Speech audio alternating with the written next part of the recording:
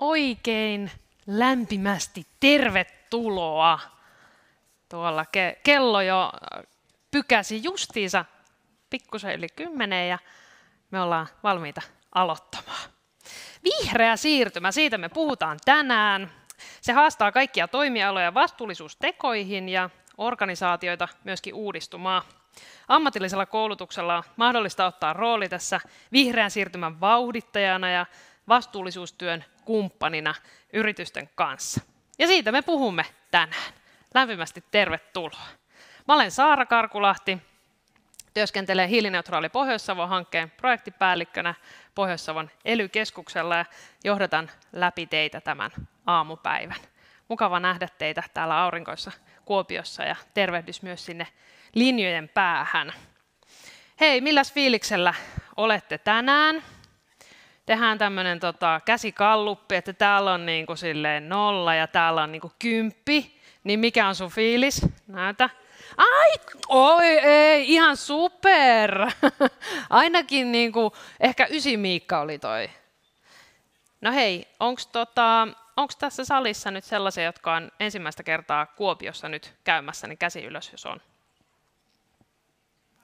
Ei ole. Tämä ihana kaupunkimme on kaikille tuttu jo. No mites, hei, me ollaan nyt taitaja, äh, seminaar, tai taitajakisat, meillä on tässä eilen startannut kyllä. Onko joku, joka osallistuu ensimmäistä kertaa nyt taitajakisoihin ja pääsee tämän kokemaan? Minä olen ekaa kertaa. On muitakin. Ja. Hyvä. Äh, upea, että saatiin tällainen hieno tapahtuma tänne Kuopioon. Tätä, tätä on täällä suurella joukolla odotettu myöskin. Hei, seminaarissa kuullaan edelläkävijäyritysten esimerkkejä vastuullisuustyöstä sekä siitä, millaista yhteistyötä ammatillinen koulutus tekee vastuullisuusteemassa organisaatioiden kanssa. Etäyhteyksien päässä on tosiaan myöskin meillä paljon kuulijoita ja tilaisuus tallennetaan, joten tämä voi katsoa sitten myöhemminkin. Ensimmäisenä me kuullaan johdatus tähän seminaariin ja tervetuloa sanat opetushallituksen pääjohtaja Minna Kelhältä sekä Skills Finlandin toimitusjohtaja Maria Ekrultilta. Minna ja Maria, olkaa hyvät. Ja raikuvat aplodit.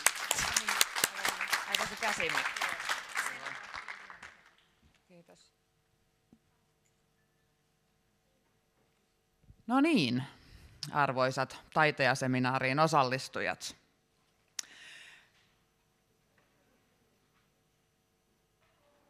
Onko meillä? Noin. Me olemme tänään yhdessä keskustelemassa vihreästä siirtymästä, toimintaympäristön ja energiatalouden muutoksesta luonnonvarojen ja luonnon monimuotoisuuden ehdoilla.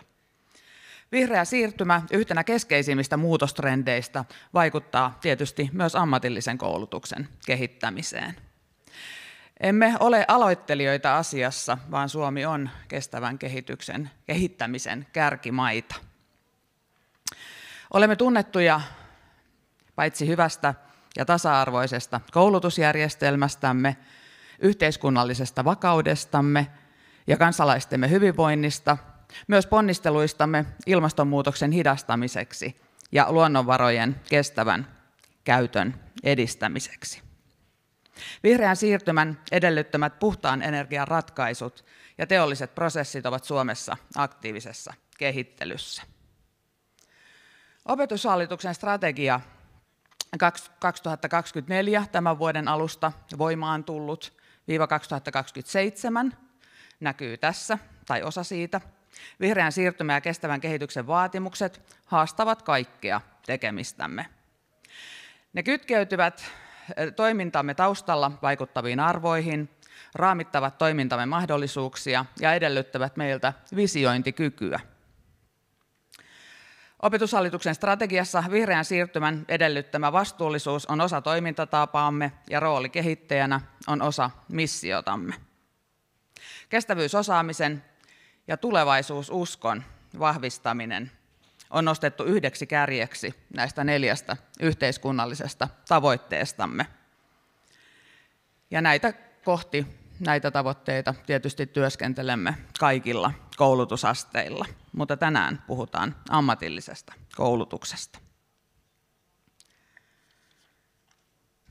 Ammatillisessa koulutuksessa kestävä tulevaisuus ja vihreä siirtymä tarkoittavat kokonaisvaltaista muutosta, jossa vastuullinen toiminta läpäisee koulutuksen järjestäjän kaiken toiminnan. Muutos koskee paitsi ammattitaitovaatimuksia ja pedagogiikkaa, myös työelämäyhteistyötä ja kumppanuuksia, oppilaitosten johtamista, strategioita ja arvoja, toimintakulttuuria ja arjen käytäntöjä ja ennen kaikkea opettajan osaamista. Tavoitteena on opiskelijoiden ajantasainen ammatillinen osaaminen, mutta laajemmin myös koko koulutuksen kestävä kädenjälki. Oheinen kuva on rahoittamamme valtionavustushankkeen vastuullinen ja kestävä ammatillinen koulutus, eli VASKI-hankkeen yhteisen tiekartan aloituskuva – Hankkeessa kehitettiin kattavasti koulutuksen järjestäjien verkostoyhteistyönä yhteinen kestävyystiekartta ammatilliseen koulutukseen. Työ saa jatkoa, sillä olemme juuri hake, äh, jakaneet hankkeelle rahoituksen, jolla tuetaan erityisesti kestävyystyön alkuvaiheessa olevia koulutuksen järjestäjiä, ja joka toteutetaan avoimesti ja kaikkia koulutuksen järjestäjiä osallistaen.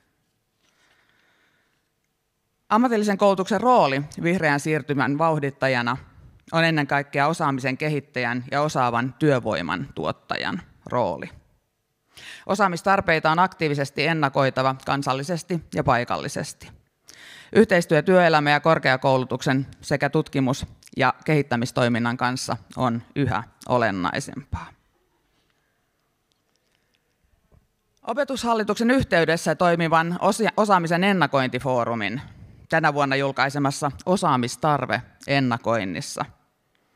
Arvioitiin keskeisten muutosilmiöiden vaikutuksia laaja-alaisiin ammatti- ja toimintarajat ylittäviin osaamistarpeisiin vuoteen 2040 mennessä.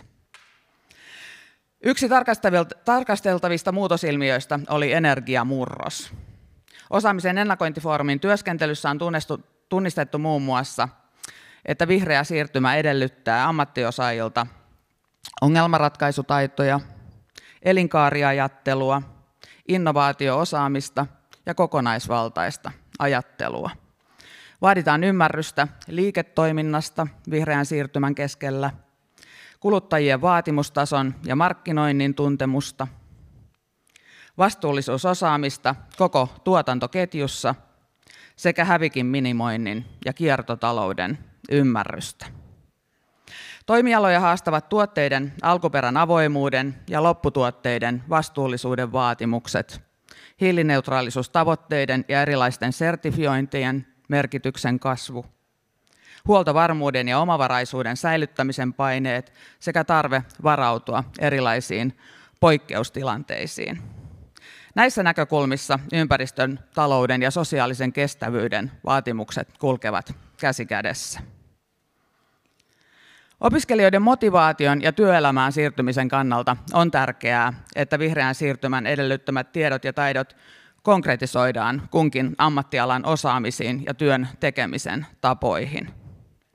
Tässä tarvitaan entistäkin tiiviimpää vuoropuhelua työelämän kanssa. Ajantasaisen tiedon tarve haastaa samalla myös opettajan koulutuksen. Esimerkki nyt jo käytössä olevasta vihreää siirtymää tukevasta tutkinnon osasta on ammatillisiin perustutkintoihin siirtyvä, sisältyvä valinnainen tutkinnon osa ilmastovastuullinen toiminta, joka antaa opiskelijoille mahdollisuuden hankkia osaamista ilmastonmuutoksen hillinnän ja siihen sopeutumisen kysymyksistä omalla toimialalla. Ammatillisten tutkintojen kehittämistyöryhmän viime syksynä julkistamien suositusten pohjalta opetushallintus on käynnistänyt toimet vihreän siirtymän ja digitalisaation edellyttämän osaamisen sisällyttämiseksi ammatti- ja erikoisammattitutkintoihin. Työ uusien vihreän siirtymän ja digitaalisen osaamisen valinnaisten tutkinnon osien laatimiseksi on meillä jo käynnissä.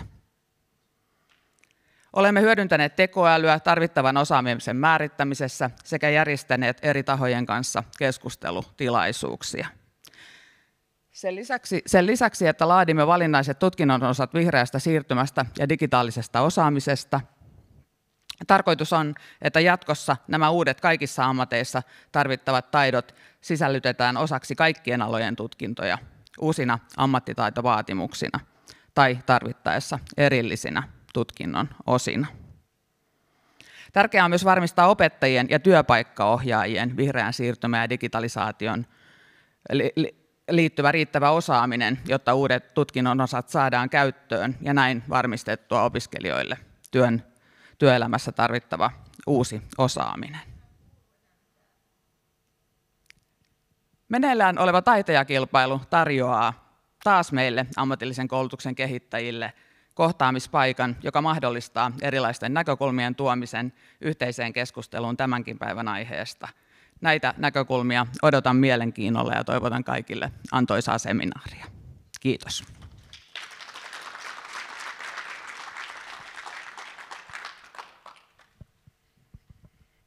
Kiitos Minna. Eli olen Maria Ekrut, Skills Finlandin toiminnanjohtaja ja nyt kun Minna kertoi, miten opetushallituksen tasolla suunnitellaan tutkintoja, tutkinnon osia ja opettajien koulutusta, niin minä menen taas konkreettisemmin sitten itse taitaja tapahtumaan. Miten täällä voidaan edistää vihreätä siirtymää. Katsotaan sitä ei. Eli Skins Finlandin tehtävä edistää ammatillisen koulutuksen laatua ja vetovoimaa ammattitaitokilpailutoiminnan avulla, ja se tehdään yhdessä suuren ammatillisen koulutuksen verkoston avulla.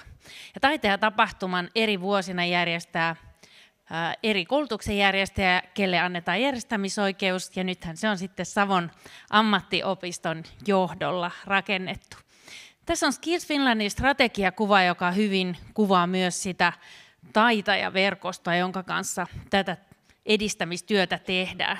Ja tämä on työväline myös tähän vihreään siirtymään ihan niin kuin kaikkeen muuhunkin opetuksen kehittämiseen. Eli täällä nähdään, että yhdessä työelämän, oppilaitosten, ammattikorkeatkin on mukana jollain tavalla, joskus yliopistot, eli kaikki yhdessä rakennetaan. Kuten Minna sanoi, että on tosi tärkeää, että se uusi osaaminen siirtyy sinne opettajille, työelämään, opiskelijoille. Ja tämä verkosto yhdessä siirtää sitä tietoa. Vahvasti ollaan mukana myös WorldSkills-verkostossa ja Euroskills-verkostossa, jossa yhteensä 85 eri maan edustajien kanssa vaihdetaan osaamista sitten maailmanmestaruus- ja Euroopan mestaruuskilpailujen tasolla. Ja sitten ollaan mukana myös Abilimpics-verkostossa erityistä tukea tarvitsevien maailmanmestaruuskisojen tiimoilta. Ja tämän verkoston vaikuttavuutta kuvaa nämä luvut. Eli taitejakilpailu, kun ajatellaan, siellä on osallisena jopa 900 ammatillista opettajaa, jotka on rakentamassa niitä lajeja tuomaroimassa. 1900 finalistia. Tänä vuonna oli yksi kaikkien aikojen ennätysmäärä, eli vaikka taitejakilpailut on aloitettu 1988, niin suosio on säilynyt näin pitkään ja tosiaan ennätyslukuja tehdään tänäkin päivänä.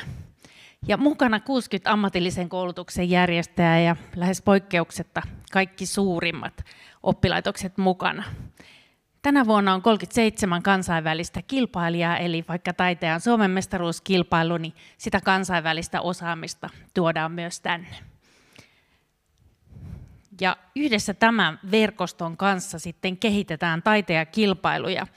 Esimerkiksi nyt kun Savo ammattiopiston johdolla on kilpailuja tehty, niin täällä on huomioitu tapahtuma aiheuttamat ympäristö- ja muut vaikutukset ja keinot niiden hallintaa. Minusta ihana esimerkki, kun katsotaan tätä somistusta tässä, niin järjestäjät kertovat, että omin pikkukätösin on lähiluonnosta kerätty kasvit, ei ole tuotettu jostain kaukaa, vaan hyvä esimerkki tästä ajattelusta. Ja sitten kilpailutehtävien suunnittelu- ja toteutuksen tueksi laadittiin vastuullisuuden tarkistuslista. Ja siinä sitten eri lajit, kun suunnittelevat näitä tehtäviä opiskelijoille, niin mietitään materiaalivalinnat ja tehokkuus, kestävät hankinnat, energiatehokkuus, vedenkäyttö, jätteiden lajittelu, alan arvot ja kestävän kehityksen ohjaus, turvallisuus, muut sosiaaliset ja kulttuuriset teemat ja viestintä. Eli kun mietitään, että opettajat yhdessä työelämän edustajien kanssa pohtii näitä asioita, että mitkä on ne työelämän tarpeet näiden asioiden näkökulmasta nyt ja tulevaisuudessa, ja rakentavat yhdessä tehtäviä, niin kaikki tämä osaaminen sitten lähtee näiden ihmisten mukana sinne takaisin työelämään ja oppilaitoksiin. Eli tässä on noin 400 yrityskumppaniakin taiteessa aina mukana. Eli valtava verkosto ja valtava ponnistus yhdessä kehittämiseen. Ja sitten kilpailulajeissa hyödynnetään alojen ja kumppaneiden uusinta ja vastuullisinta teknologiaa. Esimerkiksi logistiikkalajilla on käytössä niin täyssähkö- ja kaasukäyttöiset koneet.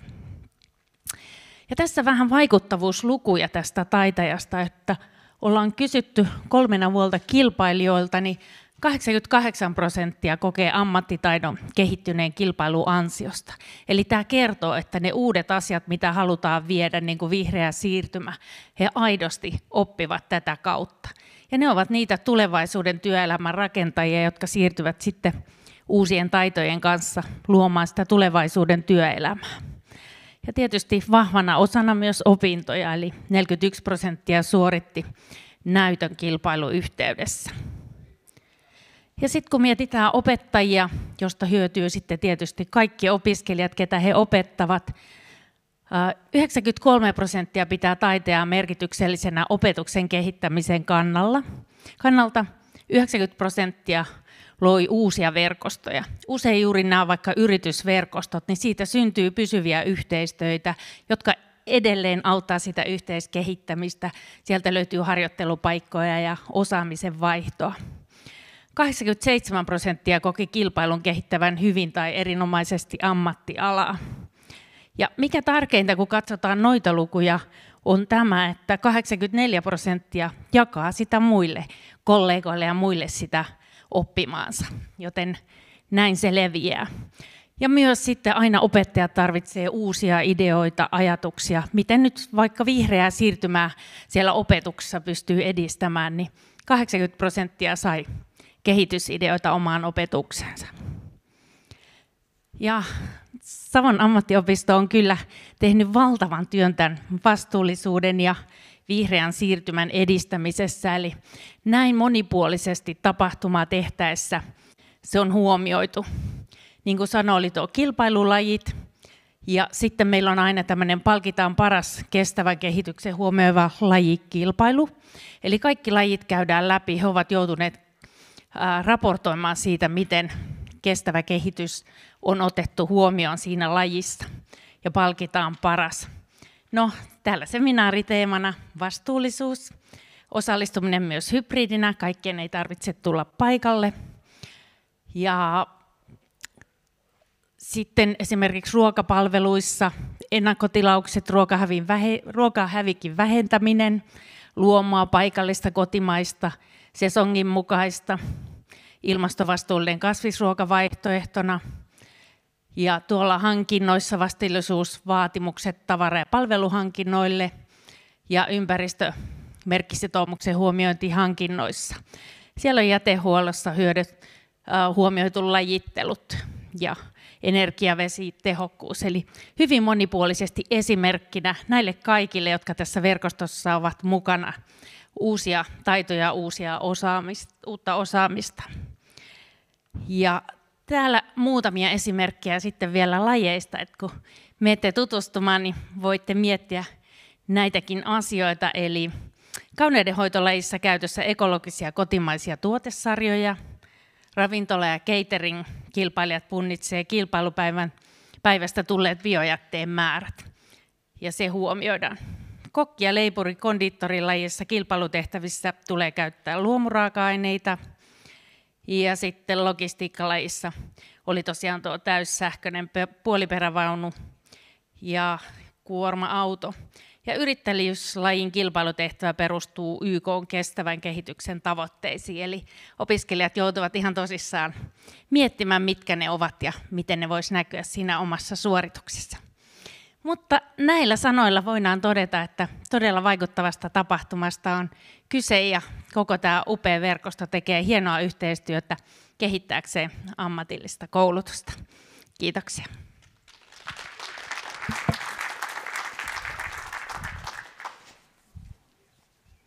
Lämmin kiitos Minna ja Maria. Olipas upea tämä, tämä viimeinen kuva erityisesti, joka konkretisoi hyvin, hyvin sitä ja erinomaisia esimerkkejä. Kiinnostavat katsaukset, kiitos molemmille. Meillä on sinne loppuun varattu vähän aikaa sillä lailla, että voidaan siellä ottaa sitten kysymyksiä ja kommentteja, niin pitäkää ne mielessänne. Hei, sitten me siirrytäänkin Euroopan unionin kysymysten äärelle. Me ollaan saatu mukaan europarlamentaarikko Elsi Katainen.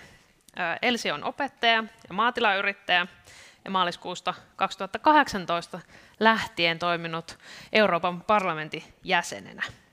Mitä EU-tasolla tehdään yritysten vihreän siirtymän tukemiseksi ja miten Euroopan vihreän kehityksen ohjelma voi lisätä yritysten ja ammatillisen koulutuksen yhteistyötä? Ehkäpä tällaisiin kysymyksiin ainakin saadaan vastauksia Elsin puheenvuorossa. Tervetuloa Elsi. Kiitos, kiitos Saara ja hyvää aamupäivää kaikille. Mahtavaa nähdä näin, näin paljon ammatillisen koulutuksen taitajia ja, ja kumppaneita täällä Kuopiossa. Tervetuloa myös minun puolestani Kuopioon, ketkä jostain kauempaa tulette. Ja myöskin verkossa tervetuloa. Ja kiitos kutsusta tähän Taiteja 24 seminaariin. On upea tähän osallistua.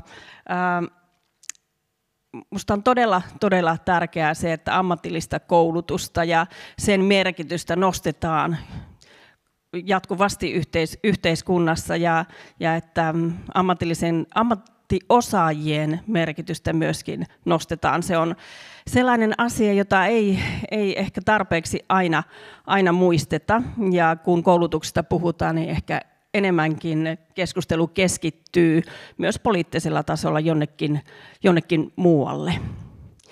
Mä olen toiminut siis Euroopan parlamentissa nyt yli kuuden vuoden ajan ja sitä ennen kansanedustajana. Ja, ja täytyy sanoa, että totta kai eduskunnassa nämä asiat ovat äärellä, mutta ei niinkään sitten tuolla Euroopan parlamentissa, koska toimivalta menee niin, että, että suoranaista äm, toimivaltaa EUlla ei näihin koulutusasioihin ole, mutta toki monella tavalla verkottumista ja muuta yhteistoimintaa.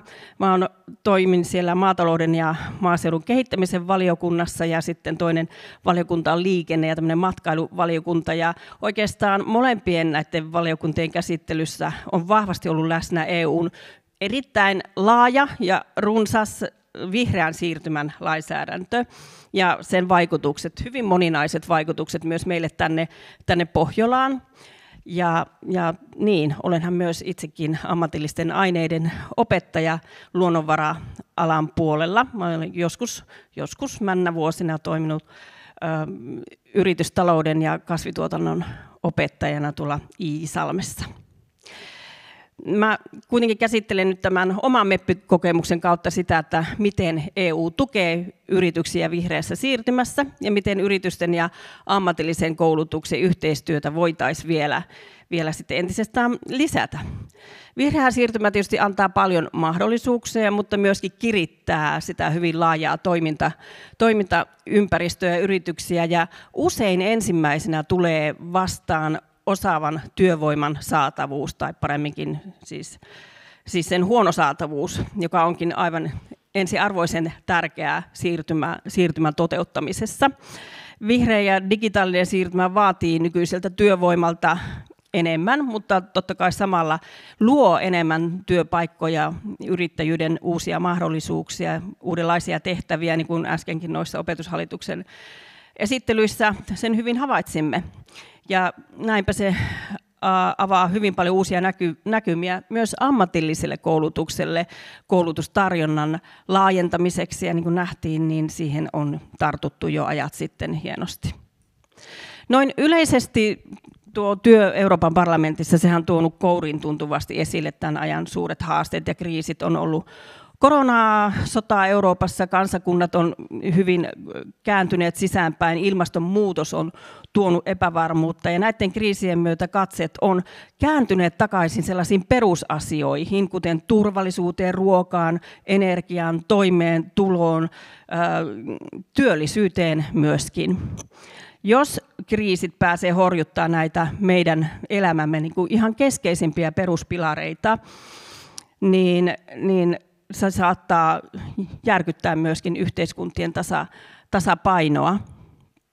Ja, ja tämän tasapainon saavuttamiseksi ja säilyttämiseksi me tarvitaan kyllä kaikkia toisen asteen koulutuksen tuottamia osaajia ja tulevaisuuden tekijöitä. Ja jokainen kriisi, joita nyt on ihan riittämiin ollut, niin on kyllä osoittanut Euroopan haavoittuvuuden ja sen, että osaajia, ammattiosaajia nimenomaan tarvitaan edelleen ja yhä, yhä enemmän. Tämä päättyvä kausi on pitänyt sisällään todella paljon ilmasto- ja energialainsäädäntöä, joka vie EUta kohti sitä hyvää yhteisesti jaettua tavoitetta hiilineutraali Eurooppa vuoteen 2050 mennessä. Me kohdattiin parlamentissa kyllä oikein semmoinen lainsäädäntö tsunami, ja tässä lainsäädäntöähkyssä me edelleen ollaan myöskin, myöskin tuota, kansallisellakin tasolla, mutta nythän tilanne on ennemminkin niin, että siellä ne laki laki, tuota, käsittelyt on, alkavat olla jo vähän niin kuin ohi, ja nyt se siirtyy sitten enemmänkin niin kuin jäsenmaiden pöydille tärkeitä päätöksiä on saatu tehtyä, mutta kyllähän aivan selvää ollut, että välillä jäsenmaita ollaan väkisin puskettu vähän niin kuin samaan muottiin. Ei olla välttämättä otettu huomioon esimerkiksi Suomen ilmastoolosuhteita, harvaa asutusta, pitkiä välimatkoja ja niin, niin edelleen. Mä olen itse aktiivisesti ajanut läpi sitä näkevystä, että jäsenmailla pitää olla aina niin kuin liikkumatilaa niihin keinoihin, joilla hiilineutraalisuutta ja sitä fossiilivapautta sitten niin kuin käytännössä, käytännössä tavoitellaan. Ja näin alueen yrityksille ja, ja, ja alueelle ylipäätään saataisiin mahdollisimman toimiva ja vakaa ympäristö tähän vihreeseen siirtymään ja kaikki voisivat siihen niin kuin sitoutua ja löytää myöskin sen porkkanan sieltä, että miksi viedä omalla tavalla ja osuudellaan sitä vihreätä siirtymää eteenpäin. Eurooppa, Eurooppahan pitäisi olla, on tämmöinen sanonta, että Euroopan pitäisi olla moninaisuudessaan yhtenäinen, mutta se ei todellakaan ole mikään helppo yhtälö se. Vihreä siirtymä tuo siis todella paljon mahdollisuuksia, mutta myöskin haasteita elinkeinoille ja alueille, ja onkin tärkeää varmistaa, että siirtymä on myös taloudellisesti kestävää ja kaikille myöskin reilu. Tämä sosiaalinen näkökulma pitää myös olla aina muka, mukana niin että kukaan ei, ei jää pois kyydistä. Mutta miten EU sitten tukee yrityksiä vihreässä siirtymässä? Yksi EUn tärkeimmistä tehtävistä on varmistaa toimivat ja reilut sisämarkkinat, ja tämä koskee tietysti myös vihreätä siirtymää. EU on tukenut esimerkiksi uusiutuvan energian yhtiöitä tällaisella Repower EU-lainsäädännöllä, joka on asettanut tavoitteita muun muassa biokaasutuotannon kaksinkertaistamiseen vuoteen 30 mennessä. Hyvä uutinen, koska alkuvaiheessa ainakin komissio suhtautui nimenomaan biokaasuun ja biopohjaisuuteen aika negatiivisesti. Euroopan investointipankki puolestaan tukee puhtaan energian projektien investointeja 45 miljardilla eurolla, jonka tarkoitus on sitten mobilisoida yli 150 miljardia investoinnissa vihreän siirtymän sektoreille tämän samaisen Repower EUn puitteissa. Sitten on tämmöinen nettonolasäädös, joka mahdollistaa myös rahoituksen saannin vihreän siirtymän teollisuuden aloille – ja sitten taas taksonomiasäännös, joka, jolla on monesti myös hyvin negatiivinenkin kaiku Suomessa. Se on taas luotu auttamaan rahoittajia tekemään rahoituspäätöksiä nimenomaan sen mukaan, onko se rahoitettava investointi tulevaisuudessa niin kuin ympäristöystävällinen vaiko ei. Komission pitäisi tosin pitää kiinni paremmin teknologianeutraalisuudesta. ja siitä lähestymistavasta, jotta kaikki päästöjä vähentävät vihreän siirtymän ratkaisut voitaisiin ottaa käyttöön. Muun muassa itse olen kokenut hyvin turhauttavana ja vähän typerinäkin päätöksinä se, että henkilöautoilun sähköistäminen, tämä on siitä hyvä esimerkki, sinänsä ihan ok ja hyvä asia, mutta sehän on syrjäyttänyt meille, meille niin semmoisen luontaisen biokaasun käytön henkilöautoista. Ja mun mielestä on todella valitettavaa se, että että Brysselissä tehtiin sellainen typerä päätös, että, että polttomoottoriautojen valmistus loppuu vuoteen 1935 mennessä. Sen jälkeen ei ole paljon biokaasuautoilun investoinnit, tutkimus, kehittäminen ja tämän tyyppinen kiinnostunut yhtään ketään niin kuin elinkeinoelämän ja tuota, yritysten puolella ja se käytännössä signaloi sitä, että tätä ei enää tarvita. Sen sijaan me kaivetaan sitten uusiutumattomia varoja tuolta, luonnonvaroja ja kriittisiä mineraaleja, jotta saadaan, saadaan akkumateriaalia. No, onneksi joitakin typeriä päätöksiä voidaan ehkä myös muuttaa. Mutta teille ammatillisen koulutuksen parissa työskenteleville ja osaamisen, osaamisen kehittäjille toimintakenttä on tietysti tuttuukin tutumpi ja tunnette parhaiten teidän haasteet. Maailma uudistuu kovaa vauhtia ja digitalisoituu ja tuo monenlaiset tekoälyt, etäkäytänteet, tietoverkot osaksi, osaksi arkea. Sen myötä myös yrittäjyys ja työelämä kehittyy ja on jatkuvassa muutoksessa. Suomessa on tosi hyvää potentiaalia vihreän siirtymän saralla, esimerkiksi uusiutuvan energian ja uusiutuvien polttoaineiden sektoreille. Keskeisimpiä ongelmia, joita monet eri sidosryhmät on omien meppivuosia aikana nostaneet esiin, on juurikin osaajien puute. Se on aina se työvoima, osaavan työvoiman puute ja varsinkin kun peilaa tätä muuttuvaa ympäristöä ja muuttuvia työnkuvia.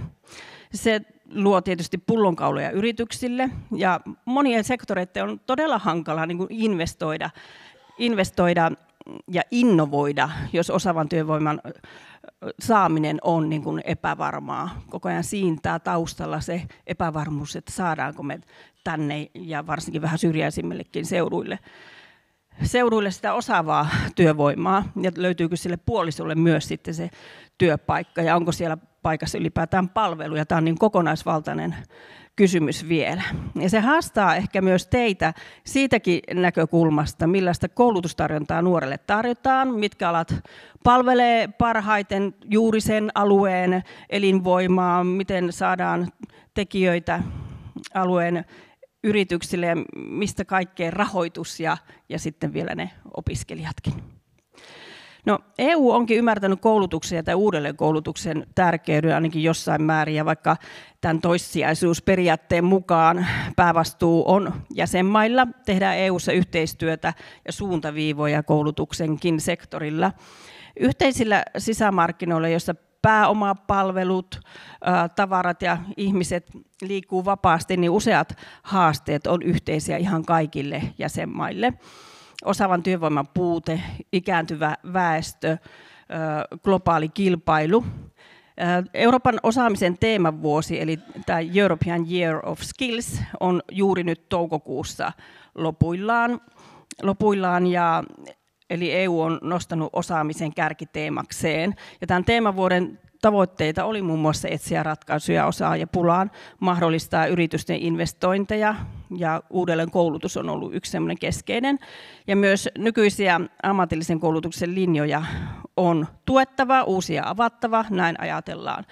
EU:ssa, jotta me pystyttäisiin kestävästi viemään tätä vihreä siirtymää eteenpäin.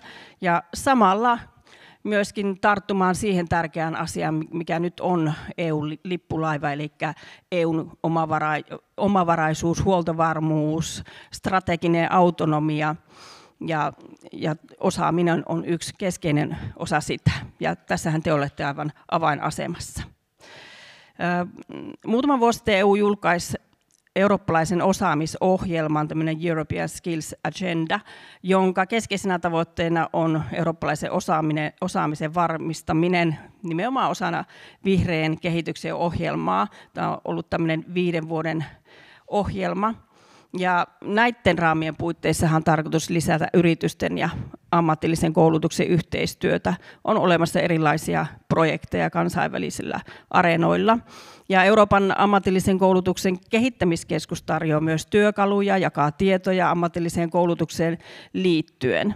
Ja taas Euroopan investointipankki tukee työvoiman uudelleenkoulutusta ja tekee yhteistyötä ammatillisen koulutusjärjestelmän kanssa. Mutta koulutukseen liittyvät kysymykset, kun ne on niin vahvasti täällä jäsenmaiden käsissä, niin on tärkeää, että myöskin maiden hallitukset panostaa niin nuorten koulutukseen, alanvaihtoa, tukevaa aikuiskoulutusta jotta yritysten ja kehitys ja panostus tulevaisuuteen ei jää kiinni osaavasta työ, työvoimasta. Ja tietysti yksi lippulaiva on Erasmus, joka tarjoaa loistavia mahdollisuuksia ammatillisille opiskelijoille kansainvälisyyteen. Kuinka moni, kuinka moni tästä porukasta on ollut Erasmus-vaihdossa tai tekemisissä? Muutamia, muutamia käsiä, käsiä nousee, mutta varmaan olisi myöskin ammatillisen koulutuksen puolella, puolella niin kuin vara lisätä sitä. Itsellä on sellainen tuntuma, että lukiossa tätä sitten enemmän niin kuin har, harrastetaan. Yli 300 000 suomalaista on osallistunut Erasmus Plus-ohjelmaan ja, ja niihin edeltäviin vastaaviin ohjelmiin vuodesta 1992 lähtien. Aikamoinen, aikamoinen luku. Mutta mitäs tulevaisuuteen vielä jos katsotaan, niin, niin, niin on aivan selvää, että tulevalla kaudella EU on löydettävä vastauksia näihin globaaliin kilpailuun ja vihreän siirtymän ratkaisussa ja tukee niitä yrityksiä, että me pystytään pärjäämään tässä, tässä kansainvälisessä kilpailussa. Mehän ollaan keskustelussa, jossa tuota, esimerkiksi USA omalla IRA-ohjelmallaan todella vankasti tukee omia yrityksiään, kun Eurooppa, Euroopan jäsenmaista, EU-jäsenmaista suuri osa ei siihen kykene. Ja jos Saksa ja Ranska kykenee sen tekemään omalle yrityksille, niin se sitten taas heikentää Suomen, Suomen kaltaisia maita, jotka eivät pysty, pysty suuressa mitassa omia yrityksiään siinä määrin tukemaan. Eli ensinnäkin tämä valtion tukijärjestelmä on semmoinen äärimmäisen tärkeä kysymys myöskin tässä, että miten yritykset pärjää, minkälaista työvoimaa ja osaamista tarvitaan ja minkälaisten pohjan se antaa koko Euroopan ja meidän sisämarkkinoiden tärkeälle menestymiselle. Ja tähän on aivan kriittinen kysymys sitten, sitten Suomen vientiriippuvaiselle, vientiriippuvaiselle maalle. Nyt tuolla vaalikentillä niin enää ei tule kovinkaan paljon sellaista kysymystä tai, tai julistusta, että irti EU-sta, mutta jos tulee, niin kyllä tämä sisämarkkinoihin kuuluminen on ollut sellainen, joka yleensä sitten on niin kuin, että no joo, että ehkäpä se onkin tärkeä kuulua, kuulua tähän isompaan yhteiseen, yhteisöön, nyt tietysti myös turvallisuus, mutta mm, oikeastaan kaikki, myös tämä EUn autonominen strategia, pohjautuu siihen, että me pystytään EU-sta yhteisesti tekemään näitä ratkaisuja. Tämä ei ole enää ollenkaan niin kuin yksistään, eikä pitkäaikaan tietysti ollutkaan pelkästään jäsenvaltioiden asia, vaan EUn yhteinen asia. Ja siinä kohtaa niin ammattiosaajien äh, tarve on äärimmäisen tärkeä ja kriittinen asia myöskin. Ja siinä kohtaa kyllä katseet kääntyy ammatilliseen koulutukseen. Ja mä toivoisinkin, että tämä näkökulma nousisi enemmänkin, vieläkin enemmän. Toki tarvitaan myös tutkimusta ja koulutusta kaikilla alueilla ja panostusta siihen, mutta ammatillinen koulutus pitäisi nostaa ylemmäs tässä keskustelussa. No, oikeastaan näillä sanoilla ja ajatuksilla, kun tuo Saarakin sopivasti tässä nousi seisomaan merkitsevästi, niin mä haluan toivottaa teille kaikille oikein antoisaa seminaaria ja näitä taitajapäiviä. Kiitoksia.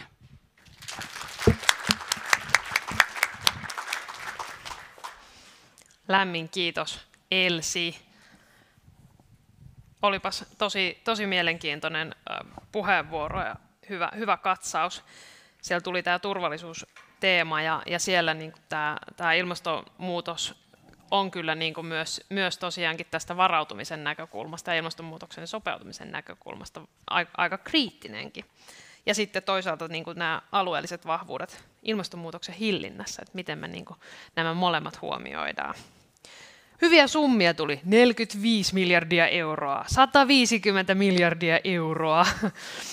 Seuraavaksi me saadaan kuulla näistä erilaisista rahoituksista. Tähän puhtaaseen siirtymään Tiina Arpola, yritysneuvoja Etelä-Savon ely tulee niitä kertomaan työkaverini. Nämä ehkä, ehkä ei ole ihan sulla niin paljon euroja jaossa, 150 miljardia euroa, mutta, mutta tota, euroja kuitenkin ja, ja hyviä mahdollisuuksia. Tiina, tervetuloa.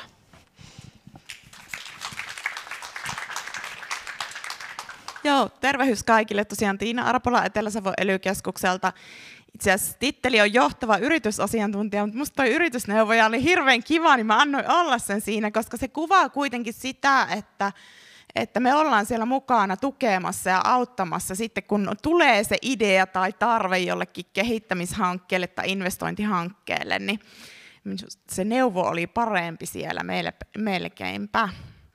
Ja tosiaan minä oikeastaan kerron nyt siitä, että mitä tämä puhdas siirtymä, vihreä siirtymä tarkoittaa nyt sitten meidän niin kuin rahoittajan näkökulmasta. Eli sitten kun se kipinä syttyy ja tarvitaan siihen osaamisen kehittämiseen tai johonkin muuhun sitä rahoitusta, niin mitä me nähdään, että mitä se meidän näkökulmasta sitten siellä on. Ja tosiaan, kuten Elsi tuossa aikaisemmin sanoi, niin se, että me päästään siihen vihreään siirtymään, niin se vaatii sinne taustalle myöskin sitten sen, sen muun näkökulman, eli tarvitaan myös se taloudellinen kestävyys sinne taustalle, mutta myös se sosiaalinen oikeudenmukaisuus. Ja se vihreä siirtymähän tarkoittaa siis sitä, että me pyrittäisiin pois siitä luonnonvarojen ylikulutuksesta ja löydettäisiin niitä kiertotalousratkaisuja, vähähiilisiä ratkaisuja ja luonnon monimuotoisuutta edistäviä ratkaisuja, mitä kautta sitten me pärjättäisiin tässä maailmassa vielä tulevaisuudessakin. Ja tähän meidän näkökulmasta kuuluu hyvin kriittisesti tämmöinen DNSH-periaate, eli do no significant harm. Eli ne hankkeet, jos ne varsinkin on investointihankkeita, niin ne ei saa aiheuttaa merkittävää haittaa ympäristölle. Eli siellä katsotaan aina sitten tarkemmin sitä. Me jokaisessa hankkeessa, missä on investointeja, niin käydään nämä asiat oikeasti läpi. Eli katsotaan, että siellä on se ilmastonmuutoksen hillintä, ilmastonmuutokseen sopeutuminen – vesivarojen ja merten luonnonvarojen kestävä käyttö ja suojelu, ympäristön pilaantumisen ehkäiseminen ja vähentämisen, kiertotalouden lisä, lisääminen tai kiertotalouden siirtyminen ja sitten se luonnon monimuotoisuus. Eli me katellaan niitä hankkeita vähän sillä näkökulmalla aina. Ja sitten se kestävän kehityksen näkökulma, eli mitä me myöskin hieman katellaan kaikissa hankkeissa, myös sitten ihan kehittämishankkeissakin. Eli miten siellä näkyy ekologinen kestävyys, taloudellinen kestävyys ja sosiaalinen ja kulttuurinen merkit, kestävyys. Eli puhutaan tämmöistä ESG-periaatteesta. Ja varsinkin yritysten kohdalla kun yritys hakee meiltä rahoitusta, niin me aina käydään tarkastamassa, että nämä asiat on sen yrityksen kohdalla kunnossa. Eli jos siellä löytyy jotain pikkasen sellaista, missä on poikkeamaa, niin sitten me lähdetään selvittelemään tilannetta enemmän. Eli nämä on aidosti sellaisia tärkeitä asioita siellä taustalla, mihinkä me halutaan tulevaisuudessa investoida, minkälaisia hankkeita me halutaan edistää ja sitä kautta muokata sitä, että myös yrityksillä on mahdollisuutta sitten jatkossa paremmin tukea tätä vihreää siirtymää ja olla siinä mukana. Tällä hetkellä me mennään tämmöisessä ohjelmakaudessa, eli jokaisella ohjelmakaudella on tietyllä tavalla semmoinen tausta, tuki ja raamit ja ohjenuorat. Ja nyt puhutaan uudistuva ja osaava Suomi aikakaudesta. Ja tämä on siis tätä EUn alue- ja rakennepolitiikan ohjelmaa. Tarkoituksena on tasoittaa eri alueiden eroja. Eli se, että kaikilla olisi tasavertainen mahdollisuus EU-tasolla elää, olla, tehdä liiketoimintaa, olla töissä, saada osaamista. Ja kuten varmaan kuuluu kaikesta, mitä tähän asti on sanonut, niin siellä ta- se hiilineutraali Suomi on yksi ihan tämmöinen toimintalinja siellä ohjelma-asiakirjassa. Ja jos sitä tarkastellaan tarkemmin, niin se kytkeytyy vahvasti sinne kestävän kehityksen tavoitteisiin. Siellä näkyy, nä, näkyy ne kaikki samat piirteet kuin mitä aikaisemmin mainitussa Agenda 2030. Meillä jaetaan aina ne toimintalinjat tai siellä on semmoisia niin erityistavoitteita riippuen siitä, että mihinkä se hanke pyrkii, mikä se on se sen tavoite sitten loppupäässä. Niin aina sitten on tämmöisiä erilaisia erityistavoitteita, mihinkä niitä kohdennetaan. Ja nämä on tietyllä tavalla just niitä meidän tahtotilojakin, että minkälaisia hankkeita tulisi syntyä. Ja yhtenä siellä on nämä energiatehokkuustoimenpiteiden edistäminen ja sitä kautta myöskin kasvihuonekaasujen kaasupäästöjen vähentäminen, eli mitä me pystyttäisiin muuttamaan siellä energiajärjestelmissä tai yritystoiminnassa tai ää, jossain liikkumisessa, teollisuudessa, eli saataisiin sitä kautta sitä energiatehokkuutta parannettua. Meillä siis ei ole ratkaisuja, meillä on toivetiloja ja tahtotiloja, mihinkä me haluttaisiin niitä muutoksia. Toisaalta sitten siellä on se ilmastonmuutos, mikä, mikä niin tuota, on vahvasti pinnalla. Ja tietysti siellä mietitään sitä, että miten niitä negatiivisia vaikutuksia pystytään kompensoimaan ja tavallaan sitä kautta niin mahdollistaa, mahdollistaa sitten kaikki elämisen vaatimukset nyky, nykypäivänä ja tulevaisuudessakin. Mutta toisaalta siellä myös nähdään se näkökulma, eli mitä positiivista siitä voi tulla tälle alueelle ja mitä positiivista se voi tarkoittaa vaikka liiketoiminnan puitteissa. Eli pitäisi löytää niitä positiivisia kultaisia reunuksia sieltäkin negatiivisesta asiasta ja, ja luoda sinne sitten niitä uusia mahdollisuuksia tälle Itä-Suomen alueelle. Ja sitten siellä on vielä se kiertotalouteen siirtymisen edistäminen. Ja sehän käytännössä tarkoittaa just sitä, että pitäisi luonnonvaroja kuluttaa vähemmän ja vähentää materiaalihävikkiä, löytää sellaisia ratkaisuja, että saadaan tavallaan se tuotteen arvo säilymään mahdollisimman pitkään suhteellisen samana. Ja ja tuota, siihen liittyy hyvin vahvasti sitten aina myöskin se julkisen sektorin ja yksityisen sektorin yhteistyö. Eli sitä kautta voidaan oikeasti tehdä niitä vaikuttavia ratkaisuja. Ja kuten sanoin, me annetaan raameja ja, ja me odotetaan, että muut tuo niitä ratkaisuja sitten. Eli mitä me oikeastaan me halutaan meidän näkökulmasta rahoittajana? Me halutaan tietysti, että yrityksille syntyy uusia liiketoimintamahdollisuuksia, saadaan sitä uutta liikevaihtoa, löytyy niitä täysin uudenlaisia ratkaisuja, tuotteita ja palveluita, minkä kautta sitten tätä tapahtuu. Ja tietysti se, että ihmisille on niitä työpaikkoja, että löytyy, missä sitten voi oman elantonsa ansaita. Meillä on hakuja auki hyvin tasaiseen tahtiin. Kaikki meillä avoinna olevat haut löytyy aina rakennerahastot.fi-sivustolla. Siellä on ylhäällä toimialueet ja sieltä alta löytyy Itä-Suomi. Ja sieltä löytyy sitten jostain kohti nämä meidän avoinna olevat haut. Meillä on kesäkuussa aukeamassa seuraavat, eli jos nyt on jo kipinää mielessä siitä, että mitä voisi lähteä viemään eteenpäin, niin tuota kannattaa sitten meihin olla yhteyksissä. Yrityshankkeissa yrit, puhutaan tuota, yrityksen kehittämisavustuksesta, niin siellä on jatkuva haku vuoden loppuun ja tällä hetkellä käynnissä. Sitten puhutaan tämmöisistä yleishyödyllisistä hankkeista, eli silloin siellä hakijana monesti on oppilaitos, tutkimusorganisaatio, säätiö, yhdistys, ja heille sitten aukeaa tuossa kesäkuussa sitten nämä hankkeet. Et meillä periaatteessa ei ole väliä, kuka hakija on, kunhan idea on sellainen, joka istuu sinne tavoitteisiin, niin katellaan sitten sinne se sopiva rahoitusmahdollisuus. Ja mikä positiivista tällä ohjelmakaudella on myös näitä valtakunnallisia teemoja, mistä voi hakea sitten semmoisia laajempia, vaikuttavimpia hankkeita.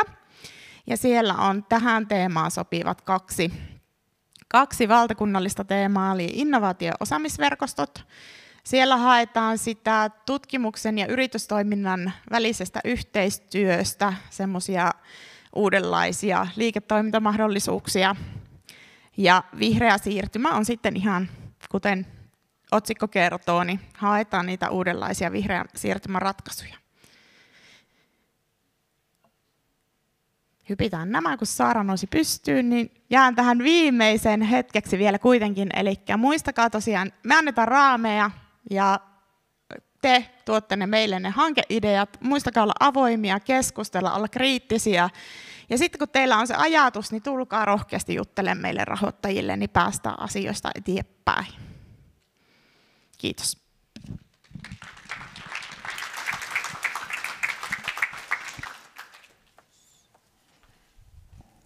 Kiitos paljon Tiinalle. Kuinka moni tästä porukasta on hyödyntänyt jotain EU-rahoitusta? Aika moni! Wow! Tosi, tosi hyvä.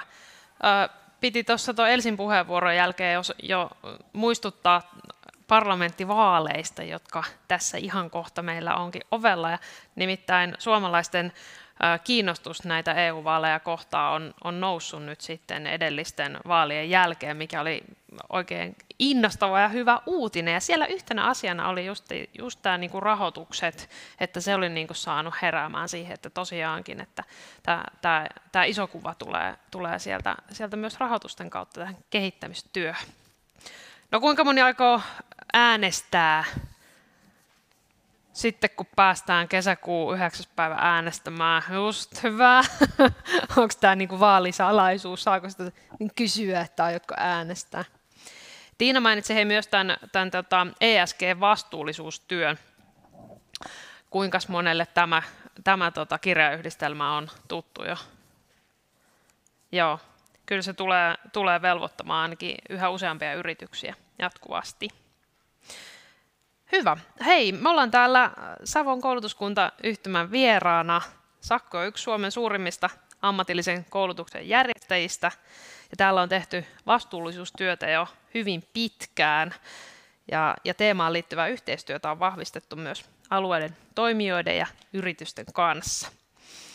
Nyt me saadaankin kuulla sitten Sakkyn vastuullisuustyöstä kuntayhtymän johtaja Heikki Helveen ja innovaatiopäällikkö Kati Lundgrenin esityksessä.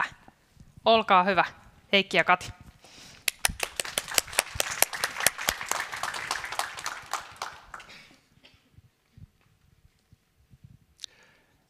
Joo, kiitoksia ja tervetuloa taiteen tässäkin yhteydessä Sakkyn puolelta. Ne on ollut todella hyviä puheenvuoroja, josta on saanut paljon otettavaa myös omaan, omaan työhön, minkälaisessa kokonaisuudessa liikumme. Ja Kouluttajathan on sitten monessakin yhteydessä, joka sitten siirtää sitä sinne arkeen, käytäntöön, osaamisen, tekemisen kautta, mitä nämä linjaukset sitten vastuullisuuteen, kestävään kehitykseen ja tulevaisuuteen liittyen sitten aiheuttaa. Niin me käydään lyhyesti läpi, minä kerron mikä on meidän strateginen tavoite, miten, miten me ollaan siihen päädytty, ja Kati jatkaa sitten siitä, miten siellä käytännössä eri toimenpiteissä sitä sitten, sitten tehdään.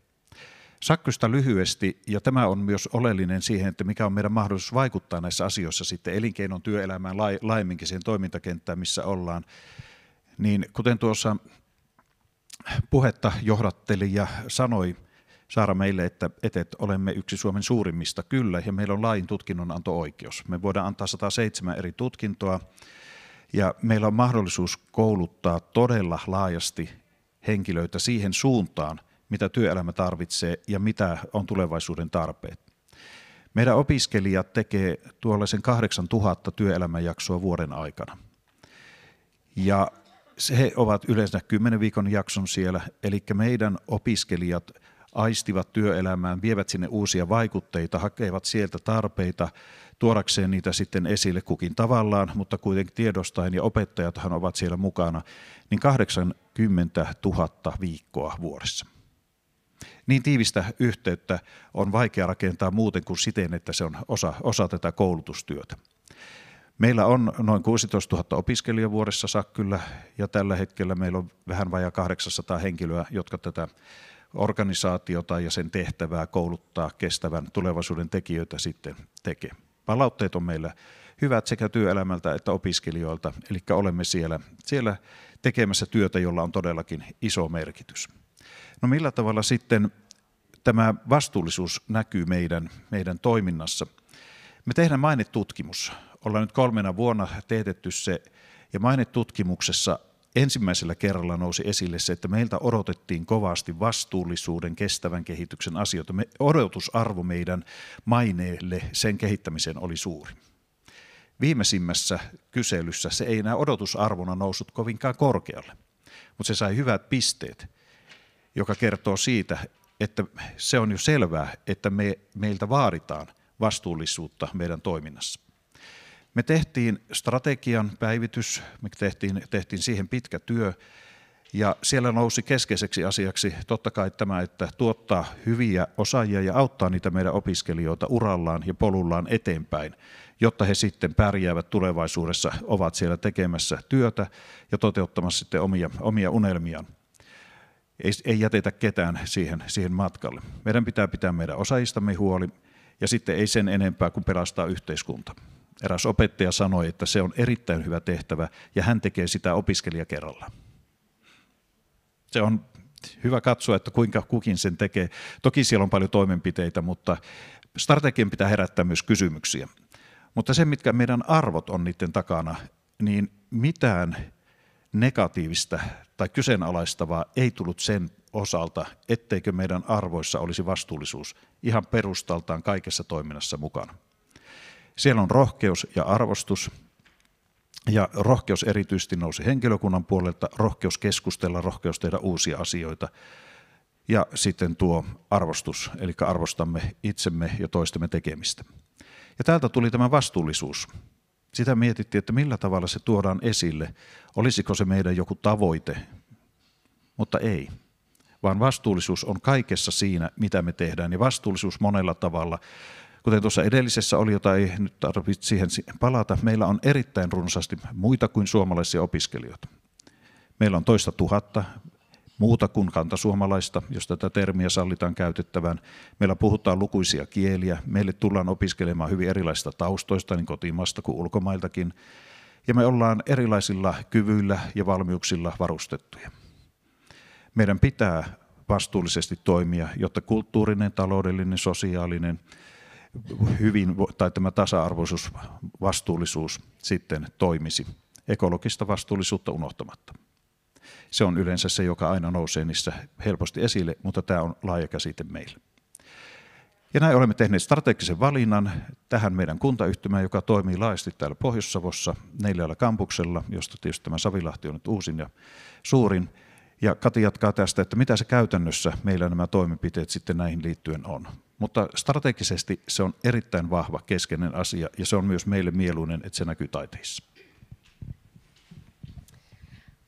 Kiitos. Niin kuin Heikki tuossa mainitsi, niin kestävyys on siellä ja vastuullisuus on meillä yhtenä arvona ja strategiassa ja meidän visiona on olla kestävän tulevaisuuden tekijä.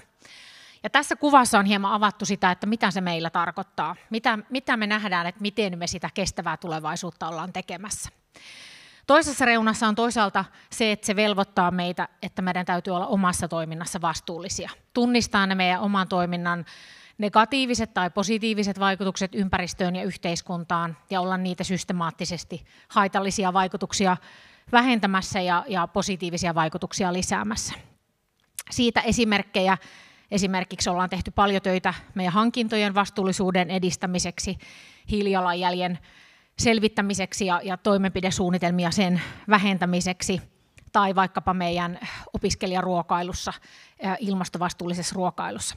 Tässä ehkä näitä, näitä esimerkkejä näkyy myös tuolla Skillsin, Skillsin esittelemässä taitajan vastuullisuusohjelmassa. Pyrittiin ja haluttiin, että ne meidän arjen vastuullisuusteot näkyisi myös täällä taitajassa. Mutta se ei suinkaan riitä, että me vaikka meidän hiilijalanjälki olisi nolla ja, ja oltaisiin oltais omassa toiminnassa tosi vastuullisia, niin se ei riitä. Ja se meidän kaikista isoin vaikutusmahdollisuus ja siinä mielessä myös se meidän vastuullisuustyön painopiste on siinä kädenjäljessä. Eli millä tavalla me voidaan olla edistämässä kestäviä ratkaisuja ja kestävää tulevaisuutta laajemmin yhteiskunnassa. Ja siinähän meillä on ikään kuin ihan perustehtävän mukaisesti me voidaan olla kehittämässä osaamista meidän, meidän opetuksen kautta ja myös yhdessä suoraan sinne siellä niin työelämän kestäviä käytäntöjä. Ja niinpä tässä seuraavassa näistä muutama käytännön esimerkki. Se, että ne äh, ammatin kestävyys- ja vastuullisuustaidot on osa näistä opetusta, niin se on se meidän vastuullisuustyön kivijalka. Ja se on ihan sen meidän perustehtävän ytimessä. Meidän tavoite on kouluttaa meiltä valmistuvista ammattilaisista niitä kestävän tulevaisuuden tekijöitä. Ja haluttiin sitten itse miettiä, että miten me voidaan varmistaa joku minimitaso, että mitä, mitä me voidaan luvata, että meiltä valmistuvat ammattilaiset varmasti osaa, miten ne voi olla omalta osaltaan niitä kestävän tulevaisuuden tekijöitä. Ja muutama vuosi sitten laadittiin meidän koulutusaloille tällaiset vastuullisuuden osaamislupaukset. Tavoite oli niiden kautta konkretisoida ja tehdä erityisesti meidän opiskelijoille ja työelämälle näkyväksi se, että mitä se ammatillinen vastuullisuus ja erityisesti ympäristövastuullisuus tarkoittaa osaamisena ja mitä me omalta osaltamme koulutuksen järjestäjinä luvataan, että meiltä valmistuvat ammattilaiset osaa. Toinen, mikä tuossa tulikin tosi hyvin myös tuossa opetushallituksen avauksessa, että se, että siinä vastuullisten ammattilaisten kouluttamisessa on todella tärkeää myös varmistaa se henkilöstön, erityisesti opetushenkilöstön osaaminen. Ja tämä oli meidän edellisessä ympäristövastuullisuusohjelmassa yksi keskeinen päämäärä, ja siinä me asetettiin, määriteltiin tämmöiset tavoitteelliset osaamistasot ykkösestä kolmoseen. Taso, taso yksi on, on se, mitä me edellytetään kaikilta meidän työntekijöiltä, tukipalveluhenkilöstöltä ja johdoltakin, ja, ja siihen on laadittu oma verkkokurssi ja, ja osaamistesti. Ja sitten opettajat ja ammatinohjaajat, heiltä ajatellaan, että vaaditaan sitten jo vähän syvällisempää osaamista ja ymmärrystä ja kykyä myös soveltaa, mitkä on ne minun opettaman ammattialan keskeiset kestävyyskysymykset, mikä on se oleellinen ammattitaito näihin työtehtäviin liittyen ja sit, siten heiltä edellytetään sitten vähän, vähän syvällisempää osaamista. Ja nä, tähänkin meillä on olemassa valmis verkkokurssi ja myös, myös osaamistesti, jotta me voidaan mittaroida ja seurata sitä, että se tavoitteet ei jää sanahelinäksi, vaan, vaan aidosti voidaan se osaaminen varmistaa.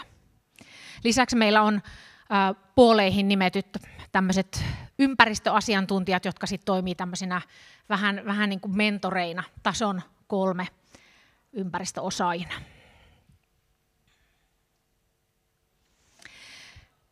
No ehkä se meidän tutkintokoulutuksen kautta me voidaan varmistaa, että niillä työelämään siirtyvillä ammattilaisilla on se työssään tarvittava kestävyysosaaminen, mm, mutta se ei välttämättä ole kauhean nopea keino saada aikaiseksi muutoksia työelämässä ikään kuin yksittäisten työntekijöiden osaamisen kehittämisen kautta.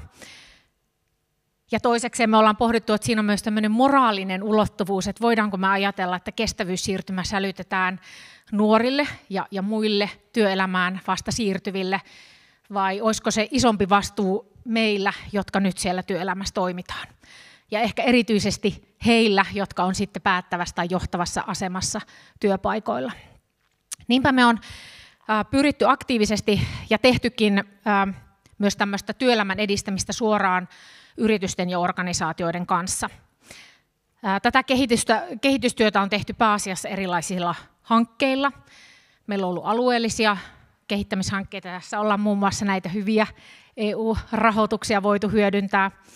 Ja lisäksi meillä on oltu myös, olla oltu myös mukana valtakunnallisissa työelämän kehittämishankkeissa. Ja fokuksena on voinut olla joskus ihan yksittäisten yritysten ympäristötyön sparraus, sitten siitä on ehkä laajennettu enemmän toimitusketjuun tai arvoketjuun, on, on mietitty päämiesyrityksiä ja tavallaan siellä koko, koko niin kuin toimitusketjua, tai sitten ihan koko toimialan kestävien ratkaisujen kehittämistä. Ja tässä päivän aikana kuullaankin ehkä muutama keissi, onnistunut keissi meidän yhteistyöstä alueen yritysten kanssa. No toinen semmoinen varsin tehokas väylä siihen työelämän, kestävän työelämän edistämiseen on myös täydennyskoulutukset. Ja niissä voidaan monesti myös ikään kuin hyödyntää ja vähän laajemmin levittää sitä ehkä kehittämishankkeessa kehitettyjä hyviä malleja tai, tai hyviä työkaluja tai, tai käytäntöjä. Muutamia esimerkkejä tästä viime vuosilta, niin me ollaan koulutettu esimerkiksi yritysten ympäristövastaavia, ammattikeittiöiden henkilöstöä esimerkiksi vastuullisuusohjelmien laatimiseen tai kasvisproteiinien käyttämiseen ammattikeittiöissä tai konepajojen ja hiilijalanjäljen laskentaan tai vaikkapa nyt syksyllä, syksyllä jatkuvassa koulutuksessa PK-kuljetusyritysten täydennyskoulutusta vihreän siirtymän haltuun ottamiseen. Ja varsinkin silloin, jos täydennyskoulutuksiin sisältyy semmoinen omaa työtä ja työpaikan kehittämistä äh, niin kuin sisältävä elementti ja tehtävä niin kuin usein, usein kuuluu, niin nämä on myös varsin nopeita ja tehokkaita keinoja saada vaikuttavaa, vaikuttavaa äh, osaamista työelämään. Tuossa poimin myös muutamia semmoisia työelämäyhteistyön avaimia, mitä me ollaan ehkä tunnistettu, hmm, jotka on siellä niin kuin hyviä onnistumisen edellytyksiä. Ja yksi on, on se, että pyritään niin kuin konkreettisiin toimenpiteisiin. Eli se, että on, jos yrityksessä tai työpaikalla on joku aito ongelma, niin pyritään siihen oikeasti löytämään ratkaisu. Ja lopetetaan vasta sitten, kun se ongelma on ratkaistu. Ja tosi tärkeää on myös se, että, että ei kehitetä puolesta tai tarjota valmiita ratkaisuja, vaan ollaan yhdessä niiden kumppaneiden ja työelämätoimijoiden kanssa niitä ratkaisuja hakemassa. Sillä voidaan myös varmistaa, että se ö, palvelu tai malli on oikeasti sellainen, joka on käyttökelpoinen ja, ja hyödyttää, hyödyttää niitä toimijoita. Ja ehkä siinä kaiken kaikkiaan se asenne, että me ei mennä opettamaan, opettamaan, vaan enemmän se, että me opitaan ja kehitetään yhdessä. Ja ehkä vielä nostaisin tuolta meidän arvoistakin vielä tuon rohkeuden yhdeksi sellaiseksi avaimeksi. Eli monestikin kun näitä vihre, kestäviä vihreän siirtymän ratkaisuja haetaan, niin ei välttämättä ole vielä valmista manuaalia, että tehdään näin. Mutta pitää olla sitten rohkeus kokeilla ja soveltaa ja sitä kautta löytää, vähän ehkä lyödä päätä seinään, mutta sitten jossakin vaiheessa löytää, että hei, tämä on se juttu, juttu, mikä toimii.